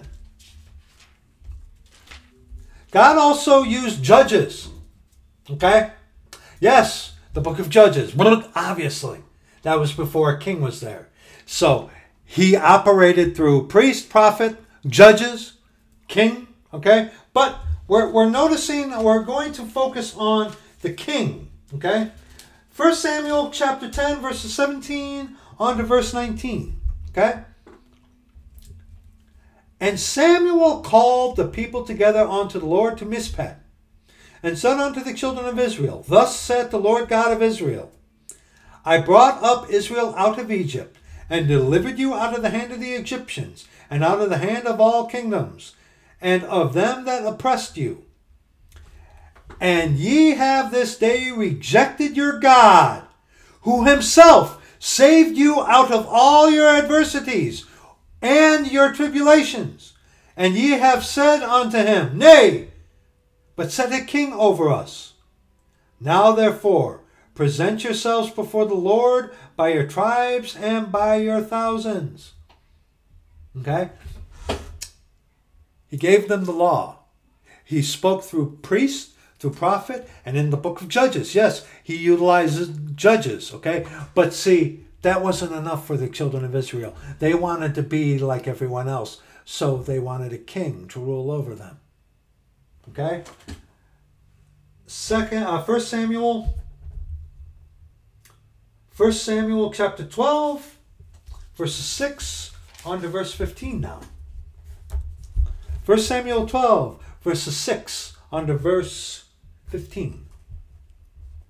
And Samuel said unto the people, It is the Lord that advanced Moses and Aaron, and that brought your fathers up out of the land of Egypt. Now therefore stand still, that I may reason with you before the Lord of all the righteous acts of the Lord, which he did to you and your fathers. When Jacob was come into Egypt, and your fathers cried unto the Lord, and the Lord sent Moses and Aaron, which brought you, which brought forth your fathers out of Egypt, and made them dwell in this place. And when they forget the Lord their God, he sold them into the hand of Sisera, captain of the host of Hazor, and into the hand of the Philistines, and into the hand of the king of Moab, and they fought against them. And they cried unto the Lord, and said, We have sinned, because we have forsaken the Lord, and have served Baalim and Ashtaroth. But now deliver us out of the hand of our enemies, and we will serve the Lord. And the Lord sent Jerubbaal, and Bedan, and Jephthah, and Samuel, and delivered you out of the hand of your enemies on every side, and ye dwelled safe. And when ye saw that he now he was referring on to the judges, okay? Okay? Aaron the priest, Moses the prophet, okay? And also the judges, and now it leads on to the king, okay? So priest, prophet, judges, kings. These are all avenues in which the Lord operated through, okay? Yes, and yes, he himself did appear. Yes, okay? You read about in the book of Joshua. Okay, uh, he was commander of the Lord of Hosts. Yes, he made you know the you know what's that phrase amplipomorphic or something, something like that. Yes, he did. Okay, but under the dispensation of the law, priest, prophet, judge, and king. But the judges went ixnay for the kings. Okay, but see the priest the prophet were still available, were still around, as well as the king. Okay, because the time of the judges passed. The last judge over Israel was Samuel. Okay, he was the last judge before the king. So the office of the judges, scripturally, under the dispensation of the law, went defunct. Yes, there were judges. Yes, but the judges in the context in which the Lord used them. No. No. Okay? Let's continue. Verse 12. And when ye saw that Nahash, the king of the children of Ammon, came against you, ye said unto me, Nay, but a king shall reign over us. When the Lord was your king. The judges never, not one of them wanted to be, you won't call me a king. You won't call me a king. Abimelech, who wasn't a real judge, okay, attempted that. But, you know, uh, Jephthah, uh, uh, Gideon, it's like, I, I won't rule over you. The Lord will rule over you, okay? Okay? The Lord was their king. But see, they wanted a physical thing to look at. The Lord was happy to oblige. He was. He was. Because our Lord Jesus Christ, who is our King, will reign over them and over all eventually. Verse 14. Uh, uh, verse 13. Now therefore, behold the King, whom ye have chosen, and whom ye have desired, and behold, the Lord has set a king over you. Verse 14. If ye will fear the Lord and serve him and obey his voice, and not rebel against the commandment of the Lord, then shall both ye and also the king that reigneth over you continue following the Lord your God. But if ye will not obey the voice of the Lord, but rebel against the commandment of the Lord, then shall the hand of the Lord be against you, as it was against your fathers. And when the children of Israel would rebel against the word of the Lord, against his commandments, the Lord would raise up prophets. Okay? You look in the context of the prophets. The prophets were raised up to bring the people back from, uh, from the law which they had gone away from. Okay? Hence the difference between the priest and the prophet. Okay? Prophet was like, hey, you've gone astray. Get back here, I'm going to hit you. Okay? All right? And see, like, like I said, in the dispensation of the law, the prophet, as we read in Numbers, the Lord would make himself known unto that prophet in a dream or a vision. Okay? And the Spirit of God would come upon that prophet, and he would prophesy in the Old Testament, giving future revelations. Okay? Prophesying of things to come. Okay? But see, Spirit of the Lord in the dispensation of the law could come and go. The Holy Ghost, the Spirit of the Lord, well, would come on people, yes, within the Old Testament, within the dispensation of the law, uh, of the law, yes, and also the Spirit of the Lord came upon the people in the camp, or with Moses, yes. But it wasn't a permanent. He wasn't a permanent residence. The Spirit of the Lord could come and go, dependent on what the person did. See, unlike today, when the Lord saves you, you are sealed permanently with the Holy Ghost. Once saved, always saved. In the dispensation of the law, faith and works, animal sacrifices, and faith that God will honor you because you have done according to the law and uh, animal sacrifice. Okay? And the Spirit of the Lord come upon people. But if you messed up, the Spirit of the Lord would depart from them. Prove that to you. Oh, gladly. Go to Judges. Judges chapter 16. Judges chapter 16. That's X V I. Judges chapter 16. Just one verse. Okay? A couple of one verses for you. Judges chapter 16, verse 20. Remember I mentioned about uh, Samson? How the Spirit of the Lord came upon him mightily? Right? Well, Judges chapter 16, verse 20. Beg your pardon, brother. And she said, Delilah, the Philistines be upon thee, Samson. And he awoke out of his sleep and said, I will go out as at other times before and shake myself. And he wist not that the Lord was departed from him. Now that's because uh, Delilah cut off the dreadlocks that he had, but then again, um, Samson was a Nazarite and messed around with his calling. Okay, so the Lord departed from Samson because of what he did, because Delilah cut off his locks. He should never have been there in the first place. But you see that? And he wist not that the Lord was departed from him? Mm-hmm. Oh, oh, oh, oh, First Samuel, go back to First Samuel chapter 16. Almost open right to it. Thank you, Father. uh, First Samuel chapter 16, one verse. Verse 14 King Saul, who also had the Spirit of the Lord come upon him mightily. Verse 14 in 1 Samuel chapter 16. But the Spirit of the Lord departed from Saul, and an evil spirit from the Lord troubled him. Wow.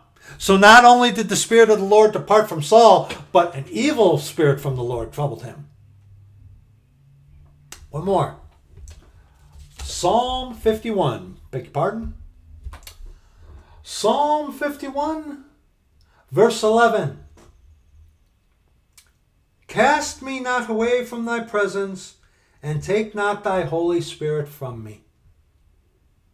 So you see, in the dispensation of the law, the holy, in the dispensation of the patriarchs, okay, um, the the Holy Ghost, okay, and in the dispensation of the whole uh, of the patriarchs, you do not see, not to my recollection, the Holy Ghost coming upon people as you do see in the dispensation of the law. Okay, when he was operating through priest, prophet, and king. Remember, the office of judge went defunct when they got they established a king. Okay, but the Holy Ghost in the dispensation of the law could come and go, come and go. Eternal security was not there. Okay? Eternal security was not there in the time of the patriarchs because the permanent seal of the Holy Ghost was not there. Okay? Okay? Abraham believed God and was counted to him for righteousness, and Abraham acted on what God told him to do because he believed he was going to do what he was going to what he said he was going to do obviously same with noah okay but in the dispensation of the law the holy ghost could come, uh, come upon someone the spirit of the lord but he wasn't a permanent residence wasn't a permanent resident and see because of that because the seal of the holy ghost the holy ghost had not been given because of that he could come and go, come and go. Hence, the Spirit of the Lord can go off of a prophet and then come onto a prophet. Hence, Old Testament prophets. Hence, you see these wicked people today saying, The Spirit of the Lord is upon me. They are taking from the dispensation under the law where the Holy Spirit could come and go, come and go, and they're applying it for today It doesn't work like that. That's how it did work in the dispensation of the law. See, these lying false prophets are deceiving you. They're taking something from another dispensation and bringing them into today's dispensation. God doesn't work like that. Okay? And you got to remember, we have to address this. Go to Deuteronomy chapter 4. Deuteronomy chapter 4. Okay? Deuteronomy chapter 4. Deuteronomy chapter 4, verses 1 under verse 8. Okay? What was the purpose of bringing in this law? Okay? What was the whole purpose of it? Okay? Why did God do that? Okay? Okay? Check this out. Deuteronomy chapter 4, verses 1 under verse 8. The conditions of the dispensation of the law was faith and works. Faith in the works that you would do according to the the law of God and that He would uh, forgive and honor you for honoring what you did according to the law. Okay? You had faith that God would honor you because you did what was according to the law. Okay? Hence, faith and works in the dispensation of the law. Okay? Deuteronomy chapter 4, verses 1 under verse 8. Now therefore hearken, O Israel, unto the statutes and unto the judgments which I teach you, for to do them, that ye may live and go in and possess the land which the Lord God of your fathers giveth you. Remember, the law was given unto a nation. Yes, a nation. Yes, you got to remember that. Okay? Ye shall not add unto the word which I command you, neither shall ye diminish aught from it that ye may keep the commandments of the Lord your God, which I command you. You had to keep the commandments to be right with God in the dispensation of the law, okay? Your eyes have seen what the Lord did because of Baal Peor. For all the men that followed Baal Peor, the Lord thy God hath destroyed them from among you. But ye that did cleave unto the Lord your God are alive every one of you this day. Behold, I have taught you statutes and judgments, even as the Lord my God commanded me, that ye should do so in the land whither ye go to possess it. Keep therefore and do them, for this is your wisdom and your understanding in the sight of the nations. Hmm. Which shall hear all these statutes and say, Surely this great nation is a wise and understanding people. For what nation is there so great, who hath God so nigh unto them, as the Lord our God is in all things that we call upon him for? And what nation is there so great that hath statutes and judgments so righteous as all this law which I set before you this day? See, the children of Israel, under the dispensation of the law, were those called out to be an example unto the nations of a people that followed the Lord. See, okay? Similar in respect unto us of the church of the living God, okay? We've been called out of Egypt to be examples unto the lost of our Lord's mercy for us today, okay? We, we have not replaced the Jew, okay?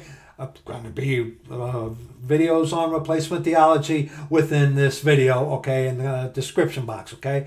But the Church of the Living God, which is comprised of Jew and Gentile, okay, the same principle. We are ambassadors for Christ as they were, as the Jew was to be under the dispensation of the law.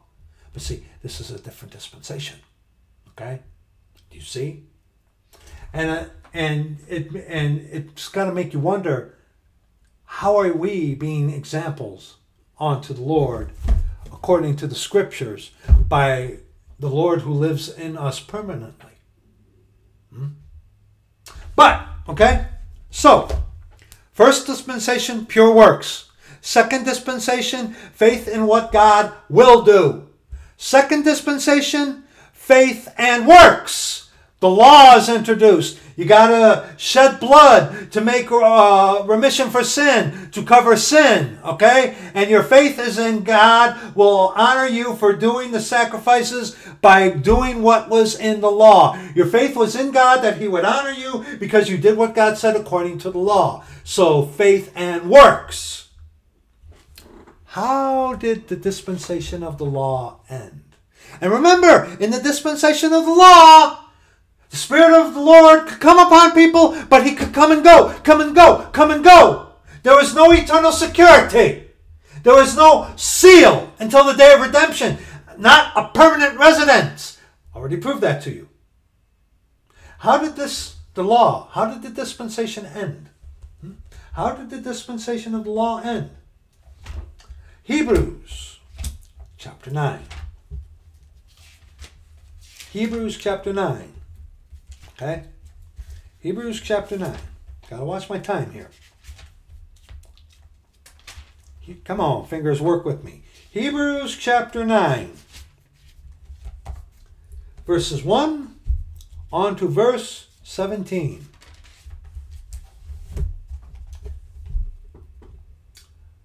Then verily the first covenant had also ordinances of divine service and a worldly sanctuary. For there was a tabernacle made, the first, wherein was the candlestick and the table, and the shewbread, which is called the sanctuary. And after the second veil, the tabernacle, which is called holiest of all, the holiest of all, excuse me, which had the golden censer, and the ark of the covenant overlaid round about with gold, wherein was the golden pot that had manna, and Aaron's, Aaron's rod that budded, and the ta- tables of the covenant and over it the cherubims of glory shadowing the mercy seat, of which we cannot speak, but not which, of which we cannot now speak particularly.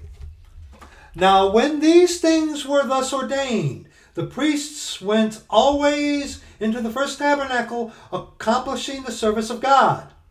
But into the second when he went the high priest alone once every year, not without blood which he offered for himself and for the heirs of the people.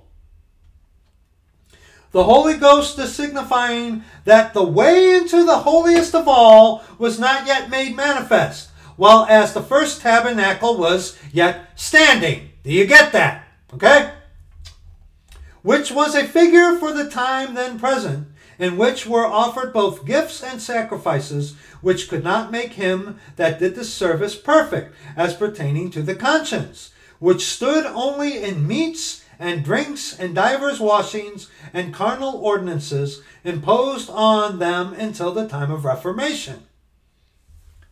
But Christ, being come an high priest of good things to come, by a greater and more perfect tabernacle, not made with hands, that is, that is to say, not of this building. Neither by the blood of goats and calves, but by his own blood he entered in once into the holy place, having obtained eternal redemption for us.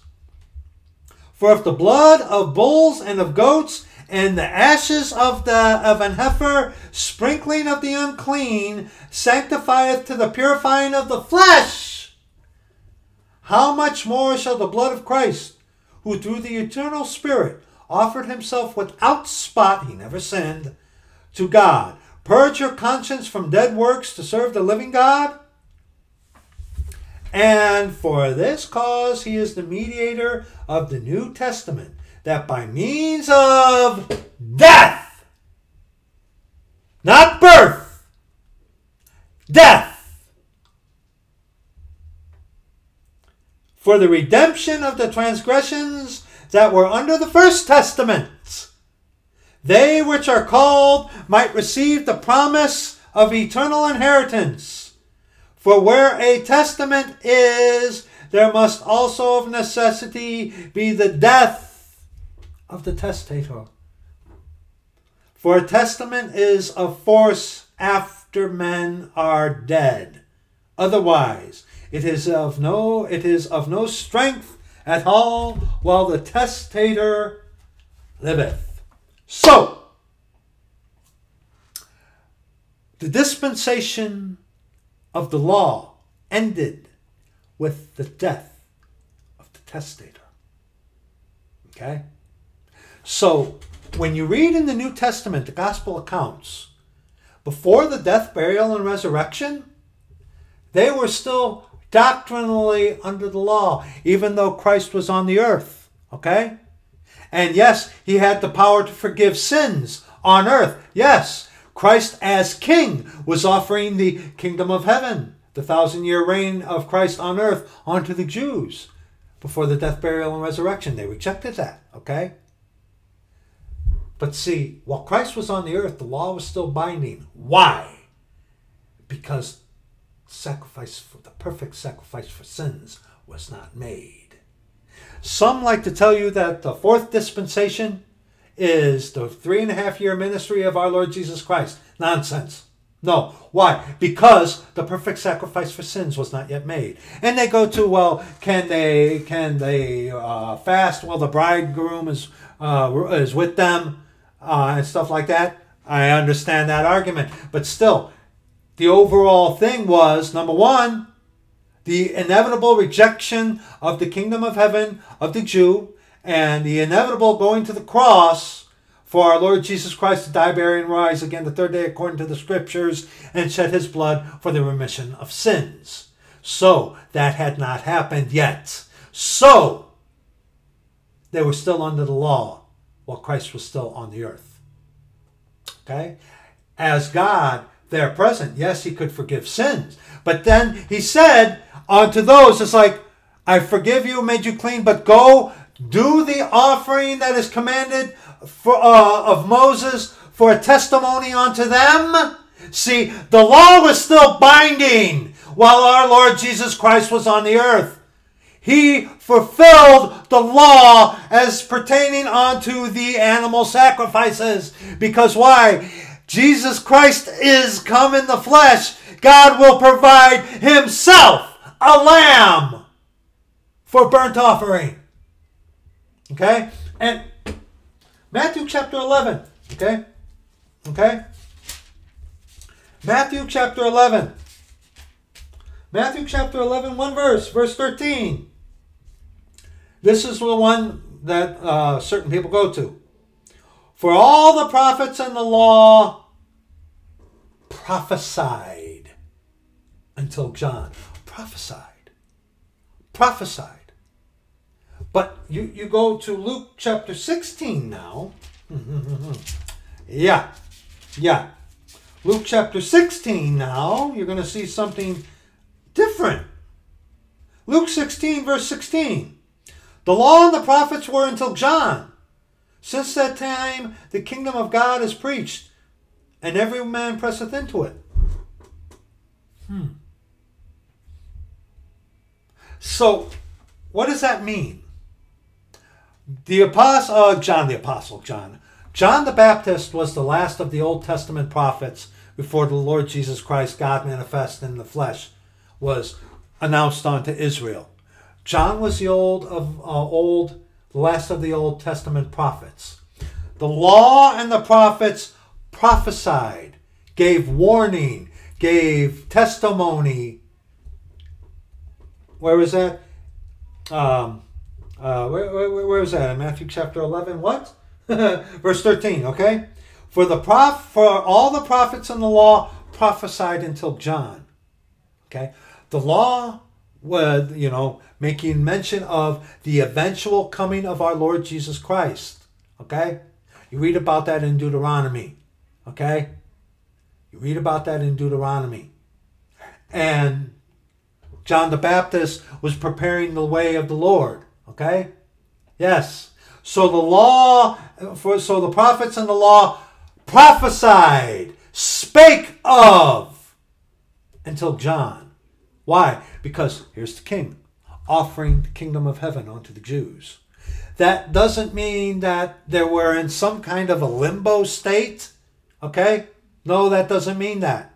It means that the prophets and the law gave uh, prophesied, gave testimony until John, because John was the last of the Old Testament prophets.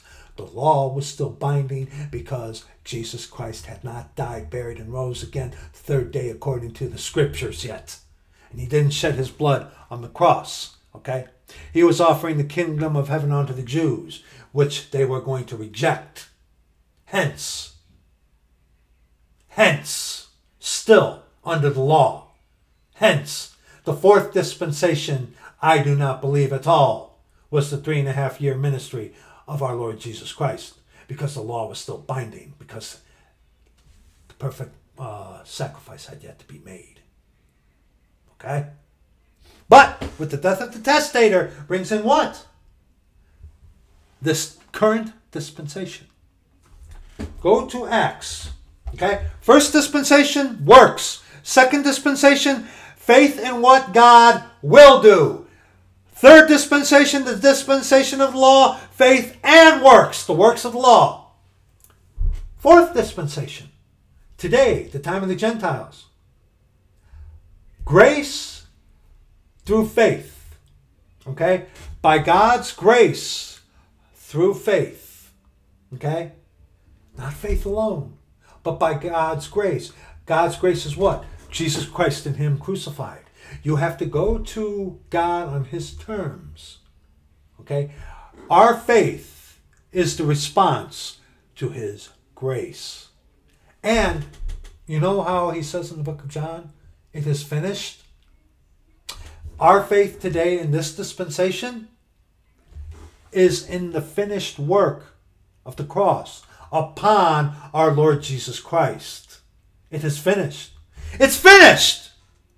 Jesus Christ died, buried, and rose again the third day according to the scriptures. He shed his blood on the cross. You come to him broken, contrite, and in fear of the Lord you call upon his name. Scream out, call out, Lord, forgive me, save me. I repent, forgive me, and may he save you. Okay? And when he save you, he seals you. Acts chapter 1. Acts chapter 1. One second, brethren.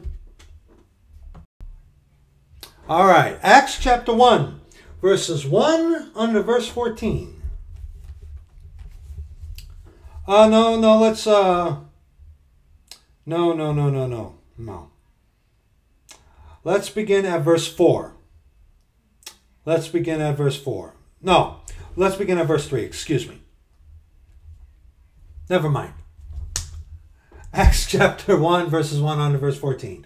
The former treatise have I made, O Theophilus, of all that Jesus began both to do and teach, until the day in which he was taken up, after that he, through the Holy Ghost, had given commandments unto the apostles whom he had chosen, to whom also he shewed himself alive after his passion, by many infallible proofs, being seen of them forty days, and speaking of the things pertaining to the kingdom of God.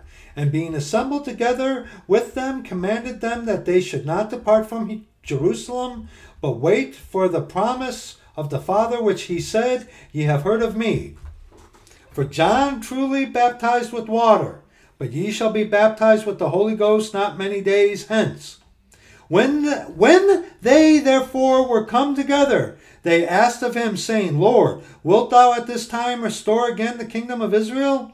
And he said unto them, It is not for you to know the times and season, times or the seasons, which the Father hath put in his own power. But ye shall receive power after that the Holy Ghost is come upon you, and ye shall be witnesses unto me, both in Jerusalem and in all Judea, and in Samaria, and unto the uttermost parts of the earth. Remember, it begins in Jerusalem, to the Jew first. And when he had spoken these things while they beheld, he was taken up, up, and a cloud received him out of their sight. And while they looked steadfastly toward heaven, as he went up, behold, two men stood by them in white apparel, which also said, Ye men of Galilee, why stand ye gazing up into heaven? This same Jesus, which is taken up from you into heaven, shall so come in like manner as ye have seen him go into heaven. Then returned they unto Jerusalem from the mount called Olivet, which is from Jerusalem a Sabbath day's journey. And when they were come in, okay, and when they were come in, they went up into an upper room where abode both Peter and James and John and Andrew, Philip and Thomas, Bartholomew and Matthew, James the son of Alphaeus, and Simon Zelotes, and Judas the brother of James. These all continued with one accord in prayer and supplication with the women and Mary, the mother of Jesus, and with his brethren. Okay? So they were to wait until the what? The pouring out, the giving of the Holy Ghost, which happens in Acts chapter 2. Yes, it does. Yes, it does. And you got to remember, which we address in the previous two videos, the sign gifts, the speaking in tongues, and stuff like that, and their men seeing dreams were all sign gifts for the Jews because remember, you read in 1 Corinthians chapter 1, uh, what is it, verse 20, verses 20 on to verse 24. The Jews require a sign, and the Greeks seek after wisdom. Okay? So the sign gifts were there to confirm what? The kingdom of God unto the Jews. And the sign gifts were depleted, went away after the book of Acts. Okay? The sign gifts started to deplete after Acts chapter 7 because that's when Jewry as a nation rejected the gospel and us Gentiles were grafted in. We, we've, we've talked about that at length, okay? But the sign gifts were for the Jews. This is this current dispensation. Why? Because the sacrifice, the perfect sacrifice for sins, was made. But see, God, who first offered the kingdom of heaven unto the Jews, and they rejected it, okay? Which is the physical, literal kingdom of our Lord Jesus Christ ruling and reigning in Jerusalem. He had to offer, or else he wouldn't be a fair and just God. He had to offer the gospel, the kingdom of God, the spiritual, unto the Jew first. And they rejected it officially in Acts chapter 7. And then you see us Gentiles being grafted into that tree. Okay, it was the same dispensation, this dispensation of the time of the Gentiles, by grace through faith. But it had to go to the Jew first. Okay, all right, and the sign gifts, you wicked heretics, were for the Jews, and those sign gifts were about the apostles. Okay, and the sign gifts, like such as Cornelius, were signs for what? Jews. The sign gifts were for Jews. Today we walk by faith, not by sight. sign gifts were visible signs for Jews. You lying, false, heretic prophets. I have dreamed, I have dreamed. No, you haven't. You are working for Satan. You're seeing visions from your father, the devil. Okay? But in this dispensation, unlike the other dispensation, the time of the law, okay? Ephesians chapter 1, okay? Ephesians chapter 1. Ephesians chapter 1, verses 5 on to verse 14. Ephesians chapter 1, verses 5 on to verse 14. Okay? Having predestinated us unto the adoption of children by Jesus Christ to himself, according to the good pleasure of his will, to the praise of the glory of his grace, wherein he hath made us accepted in the beloved in whom we have redemption through his blood, the forgiveness of sins, according to the riches of his grace. See, our faith is in what he has done. It is finished, okay? Wherein he hath abounded toward us in all wisdom and prudence, having made known unto us the mystery of his will, according to his good pleasure, which he had proposed in himself, that in the dispensation of the fullness of times he might gather together in one all things in Christ, both which are in heaven and which are on earth, even in him, in whom also we have obtained an inheritance, being predestinated according to the purpose of him who worketh all things after the counsel of his own will. That we should be the praise of his glory, who first trusted in Christ in whom ye also trusted after that ye heard the word of truth, the gospel of your salvation, in whom also after that ye believed, ye were sealed with that Holy Spirit of promise, which is the earnest of our inheritance until the redemption of the purchased possession unto the praise of his glory, sealed unto the day of redemption. Okay? Permanently sealed. When you come to the Lord broken, contrite, and in fear of him, you call upon the name of the Lord, okay, and he save you, the Holy Ghost comes upon you permanently. And see, these heretics, these prophetic heretics, uh, the Lord is upon me. The Lord gave me a vision. No, the Lord doesn't work like that anymore. Why? Because those who are truly saved, born again, converted of the church of the living God, you have God living within you. God doesn't have to, God doesn't operate through priest, prophet, and king. Okay? Why?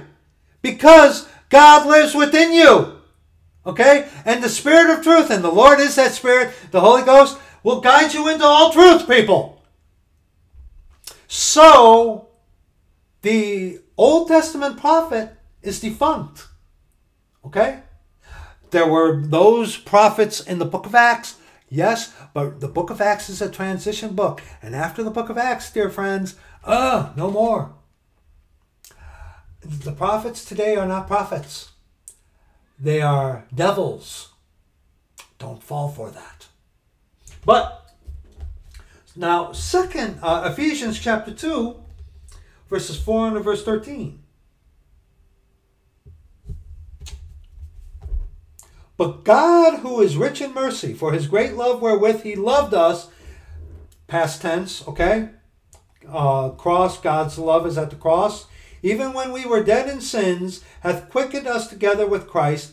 By grace are ye saved and hath raised us up together, and made us sit together in heavenly places in Christ Jesus, that in the ages to come he might shew the exceeding riches of his grace in his kindness toward us through Christ Jesus. For by grace are ye saved through faith, and that not of yourselves, it is the gift of God, not of works the works of the law is what he's referencing, lest any man should boast. For we are his workmanship created in Christ Jesus unto good works, which God hath before ordained that we should walk in them. Wherefore remember that ye, being in time past Gentiles in the flesh, who are called uncircumcision by that which is called the circumcision circumcision in the flesh made by hands, that at that time ye were without Christ, being aliens from the commonwealth of Israel, and strangers from the covenants of promise, having no hope or without God in the, in the world. But now in Christ Jesus, ye who sometimes were far off are made nigh by the blood of Christ. Us Gentiles being grafted in. Okay? For he is our peace, who hath made both one, and hath broken down the middle wall of partition between us, having abolished in his flesh the enmity, even the law of commandments contained in ordinances, for to make of himself of twain one new man, so making peace. One new man. One new man, comprised of Jew and Gentile. One body, okay? One body. And go now to Galatians chapter 3. I know we read a little bit more. Had to, had to. Galatians chapter 3. Galatians chapter 3. Verses 26 on to verse 29. For ye are all children of God by faith in Christ Jesus. For as many of you as have been baptized into Christ have put on Christ. Baptized, identified with Christ. Water baptism is not required for salvation today. Okay, you heretics, right? There is neither Jew nor Greek. There is neither bond nor free. There is neither male nor female. For ye are all one in Christ Jesus. And if ye be Christ's, then are ye Abraham's seed and heirs according to the promise. That's talking about salvifically. As pertaining to salvation, we are all one in Christ Jesus. Okay? Culturally, there's a difference. Salvifically, pertaining to salvation, it doesn't matter. Okay? Because the mystery is that us Gentiles have been grafted into the tree of the Jew. Okay? Hence, to the Jew first and also to the Gentile. Okay? Anyone can get saved. It doesn't matter if you're a Jew or a Gentile. Anyone can get saved. And if you come to the Lord on His terms and He save you, you are part of His body, the church of the living God. Okay? All right? And uh, Colossians chapter 3. Colossians chapter 3. Colossians chapter 3, verses 8 under verse 14. Now, when the Lord saves you, you are sealed until the day of redemption. The Holy Ghost and the Lord is that Spirit lives within you. Unlike any dispensation heretofore. Okay? It wasn't like that in the Old Testament. Okay? You are eternally secure. You are going to heaven. You can't lose what isn't yours to lose. It's not your salvation to lose. And isn't it interesting? These charismatic devils who are mostly Pentecostal don't believe in once saved, always saved. Why? They can't because the Spirit of the Lord is upon me, giving you a. No. See, they're taking Old Testament stuff under the law, trying to attribute it to today. Heresy. Heresy. Okay? Colossians chapter 3. If you are truly saved, Jesus is in you and you are a new creature. Okay? Colossians chapter 3, verses 8 under verse 14.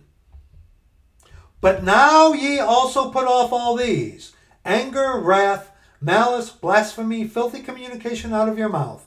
Lie not one to another, seeing that ye have put off the old man with his deeds, and have put on the new man, which is renewed in knowledge after the image of him that created him where there is neither Greek nor Jew, circumcision nor, uncircum- nor uncircumcision, barbarian, Scythian, bond nor free, but Christ is all and in all. Put on, therefore, as the elect of God, holy and beloved. Elect meaning that you went the way of the cross, you didn't boot the door out of the way and go up some other way. Okay? Bowels of mercy, kindness, humbleness of mind, meekness, long suffering, forbearing one another forgiving one another. If any man have a quarrel against any, even as Christ forgave you, so also do ye. And above all these things put on charity, which is the bond of perfectness.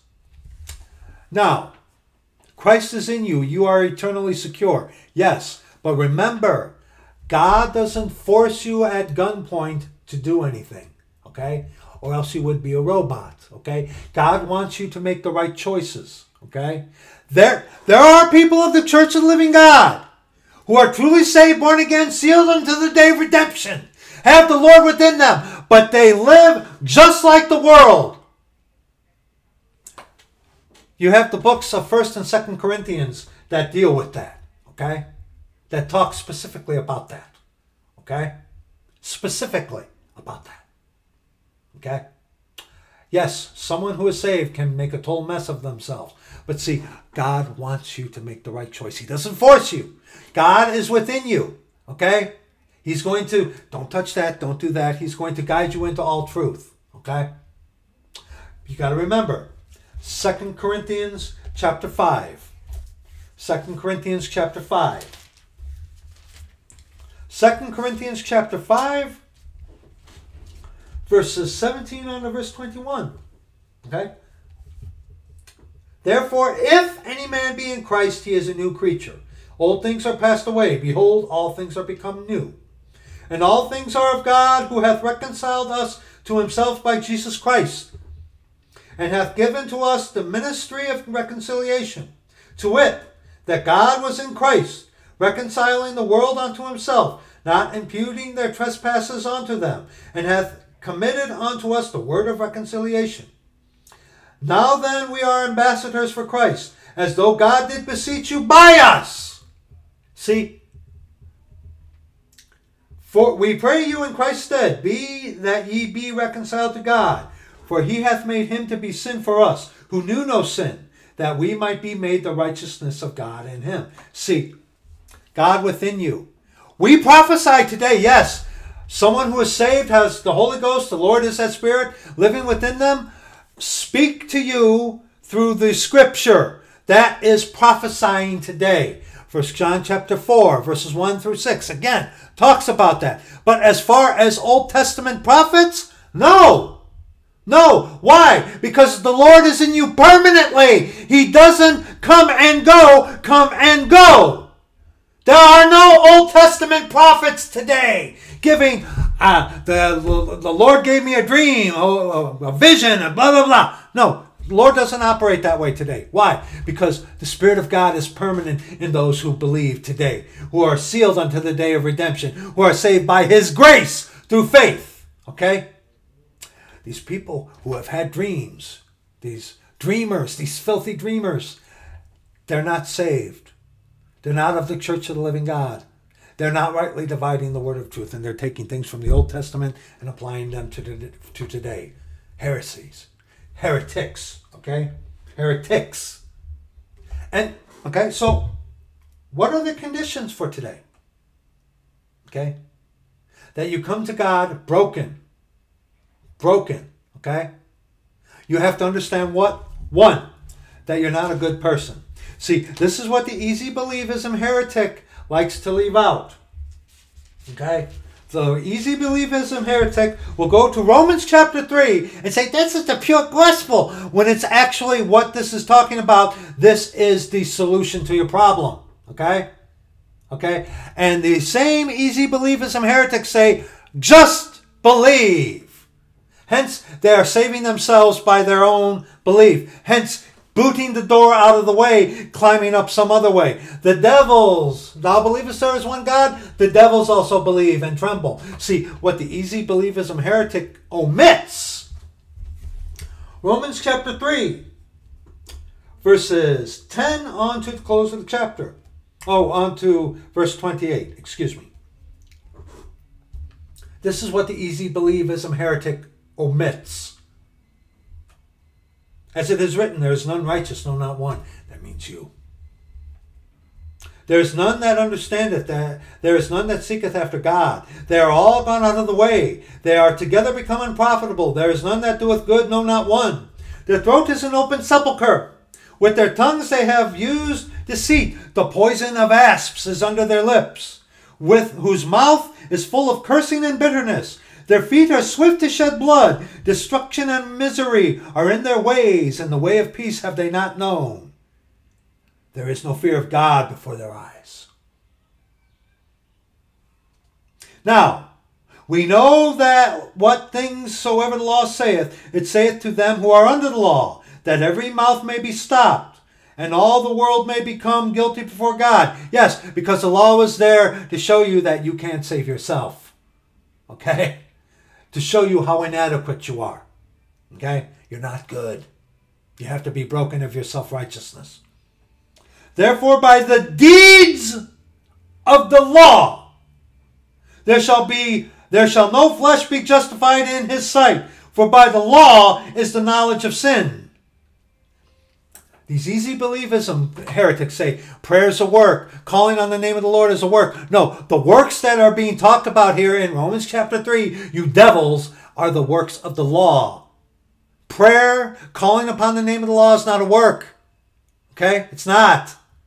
The works that are being talked about here, you wicked heretics, are the works of the law. You, you conveniently omit that stuff, though, don't you? Yes, you do. But now the righteousness of God without the law is manifest, being witnessed by the law and the prophets. Remember, the law, the, the prophets and the law prophesied until John. Okay? But yet it was still binding because the perfect sacrifice had yet to be made. Okay? Even the righteousness of God, which is uh, by faith in, of Jesus Christ, unto all and upon all them that believe, for there is no difference. For all have sinned and come short of the glory of God. Yes, but what about you personally? See, the easy believism heretic wants to hide you under the umbrella while not have it, while not you dealing personally with your own personal sins, which uh, 10 under verse 18 address. That's why they omit it. Okay? Being justified freely by his grace through the redemption that is in Jesus Christ. And this verse 24 is usually where these easy believism scoundrels begin. Okay? whom God has set forth to be a propitiation through faith in his blood to declare his righteousness for the remission of sins that are passed through the forbearance of God. To declare, I say, at this time his righteousness, that he might be just and the justifier of him which believeth in Jesus. See, you admit all that, omit all that other stuff, and come to this and just concentrate on verses 23 on to verse 26 just believe, just believe. We have all sinned. Yes, but what about your own personal sins? Personal, cutting you. They omit that. They don't like to deal with that. See. And then verse 27. Where is boasting then? It is excluded by by what law? Of works? Nay, but by the law of faith. Faith.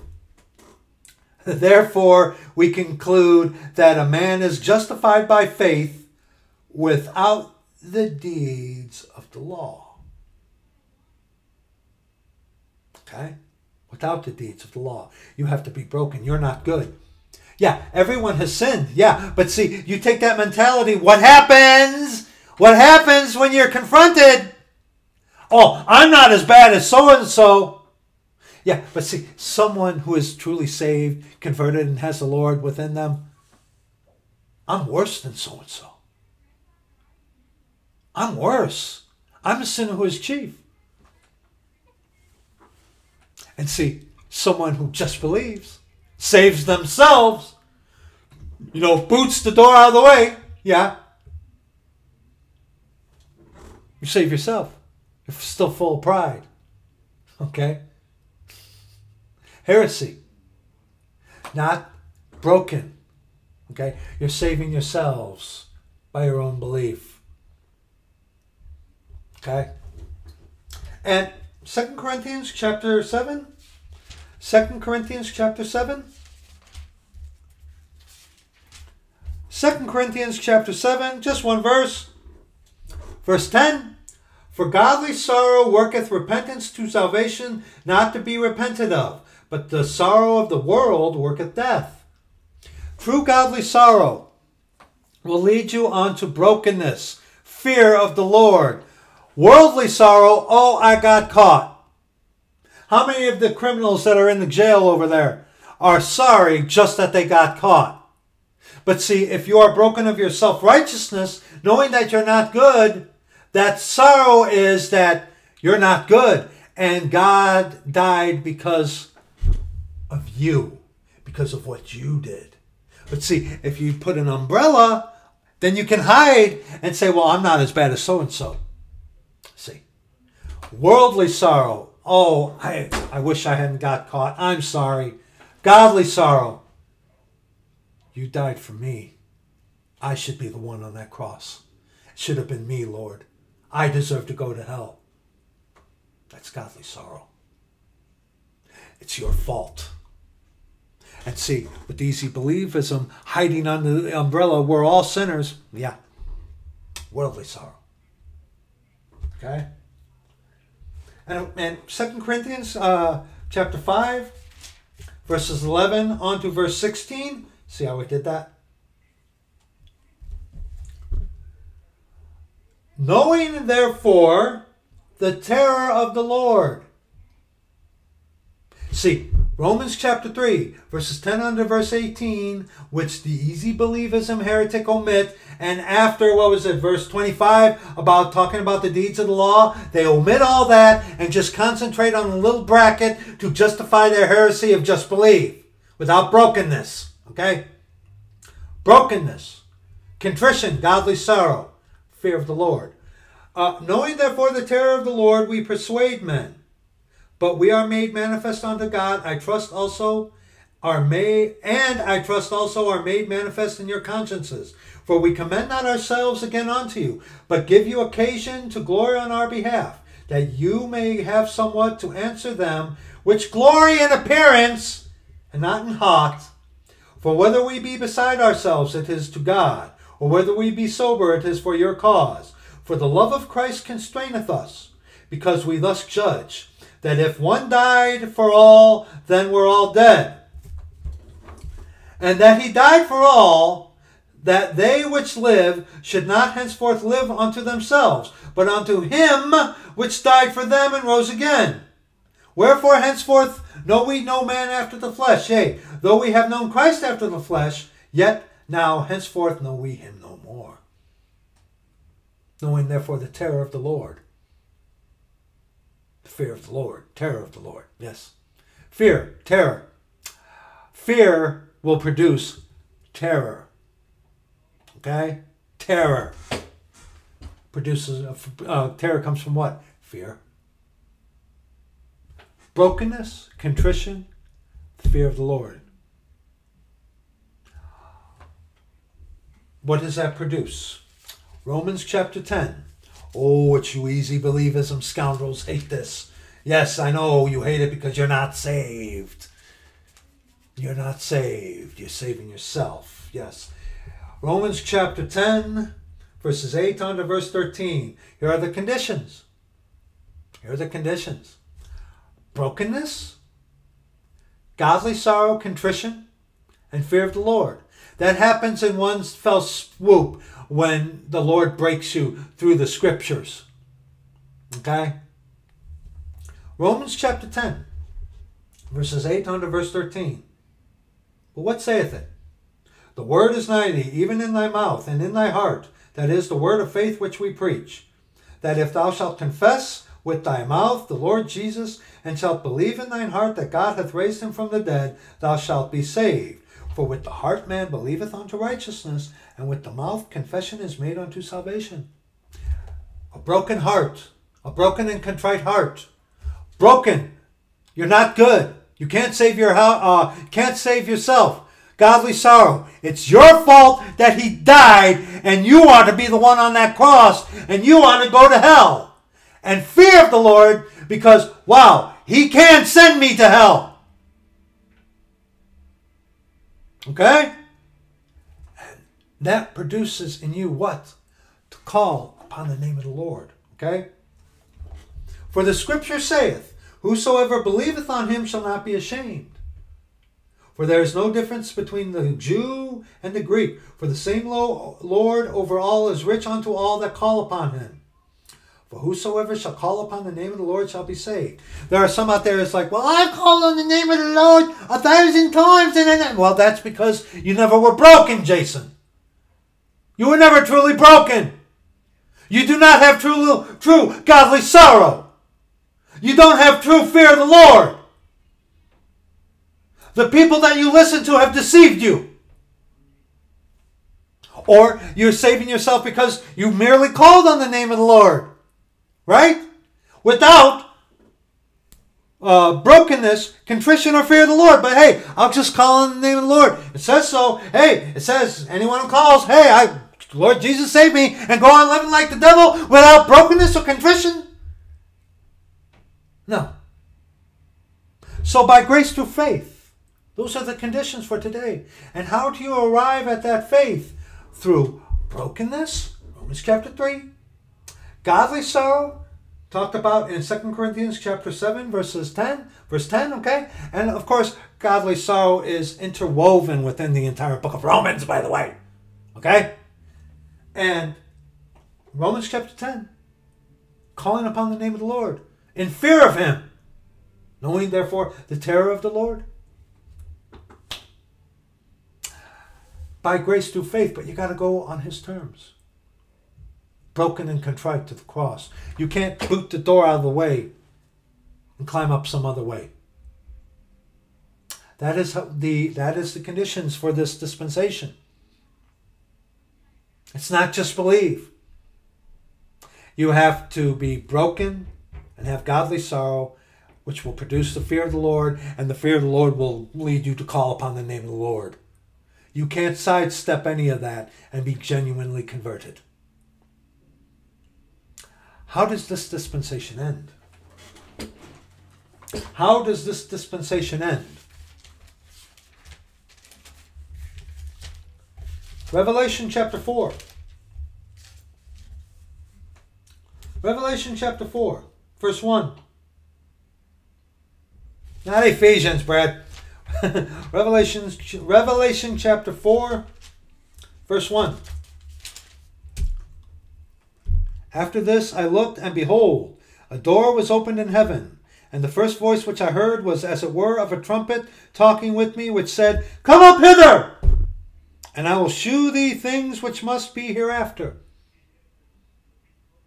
The redemption of the purchased possession, the catching away of the body of Christ before the time of Jacob's trouble, erroneously referred to as the time of, uh, excuse me, erroneously referred to as the pre-tribulation rapture. Okay? 1 Corinthians chapter 15. Got 13 minutes. We're going to get this in here. Okay? 1 Corinthians chapter 15, verses 51 on to verse 58. These are the basics. Talking about the redemption of the purchased possession. Okay? Behold, I shew you a mystery. We will not all sleep, but we shall all be changed. In a moment, in the twinkling, in the twinkling of an eye, at the last trump.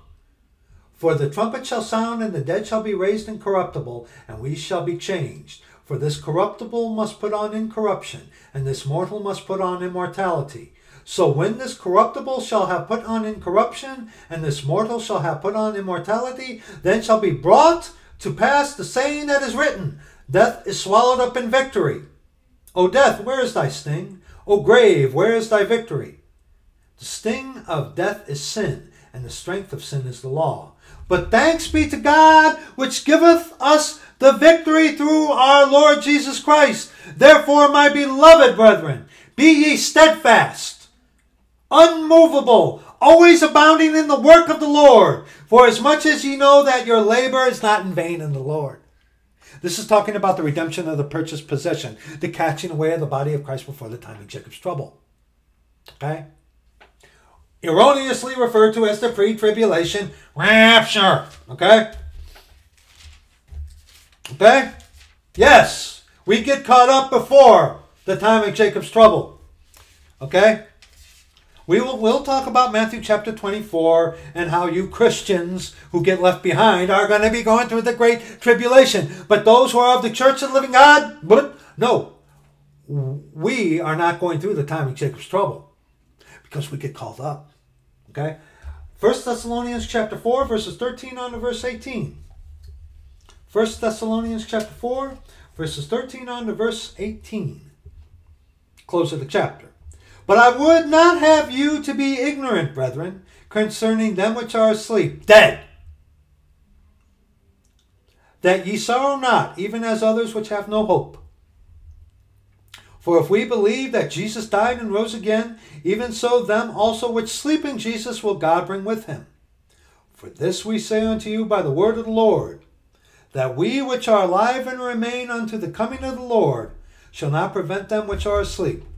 For the Lord himself shall descend from heaven with a shout, with the voice of the archangel, and with the trump of God, and the dead in Christ shall rise first. Then we which are alive and remain shall be caught up together with them in the clouds to meet the Lord in the air, and so shall we ever be with the Lord. Wherefore comfort one another with these words. Now we've talked about, you know, no, not everyone's going to see him. We're going to hear our names and come up hither. Okay, okay. We've talked about that. Running out of time. I only got three hours. so okay, but we're going to hear a name come up hither and then the church of the living God, those who are truly saved, born again, converted, new creatures in Christ Jesus, born again, we're going to be redeemed. The redemption of the purchased possession. You and I are the church of the living God. We are purchased by his blood. Okay? The purchase of the blood of God, that's what bought us. The redemption of the purchased possession is when we get caught up before the time of Jacob's trouble. Okay? Second Thessalonians. Second Thessalonians chapter 2, verse 3 on to verse 12. We've, we've talked about this in length, but what ends this dispensation we are currently in? Redemption of the purchased possession. That is what ends this dispensation. And think about all the chaos that's going to pursue ensue after that. Yeah. Think about those who are of the Church of the Living God who might be flying an aeroplane and all of a sudden disappear and that thing go crashing to the ground what have you. Second Thessalonians chapter 2, verses 3 on to verse 12. Let no man deceive you by any means, for that day shall not come except there come a falling away first, Falling away is uh, those who said they. Hold on one second. Uh, let's very quickly. Oh, got eight minutes here. I hate being rushed. That's why I hate being rushed. I hate being rushed. Okay, ask my wife. I hate being rushed. First John chapter two, verse uh, nineteen. What is the falling away? They went out from us, but they were not of us. For if they had been of us, they would no doubt have continued with us. But they went out that they might be made manifest that they were not all of us. That's the falling away. Go back to Second Thessalonians chapter 2. Let no man, beginning at verse 3, let no man deceive you by any means, for that day shall not come except there come a falling away first, and that man of sin be revealed the son of perdition, who opposeth and exalteth himself above all that is called God or that is worshipped, so that he, as God, sitteth in the temple of God, shewing himself that he is God. Remember ye not that when I was yet with you, I told you these things? And now ye know what withholdeth, that he might be revealed in his time. What does that mean? For the mystery of iniquity doth already work.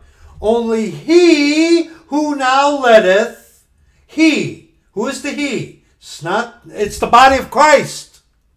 The body of Christ be that is on the earth, the church of the living God. God is omnipresent, omniscient. He's everywhere. He's not going anywhere. Okay?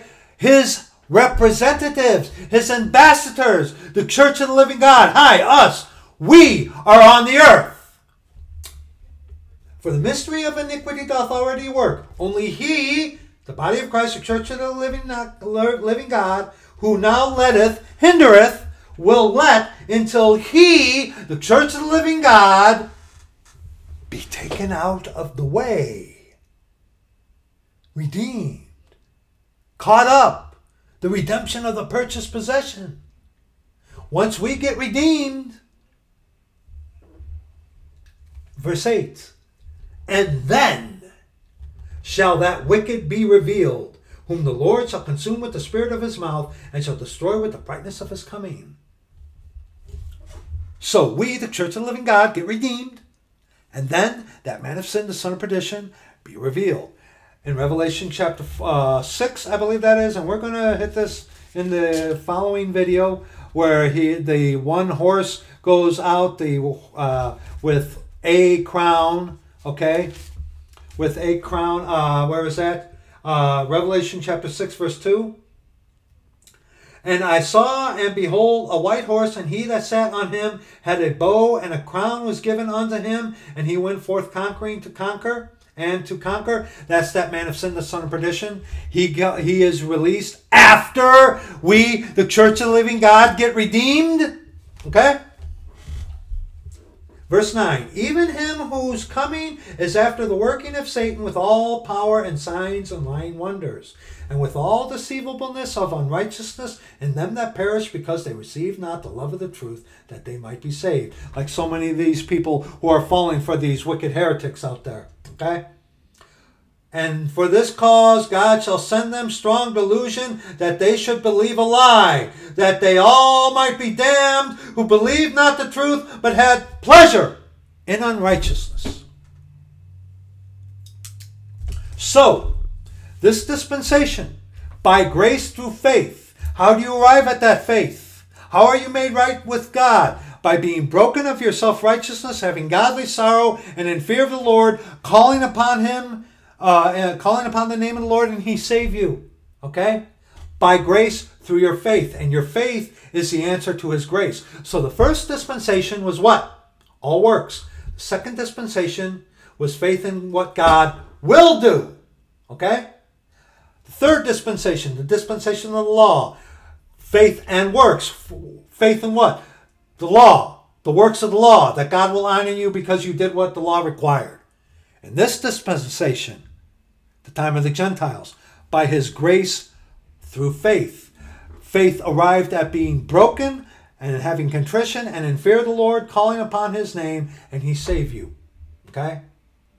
Similar unto the dispensation of the patriarchs, but see, our faith is in what?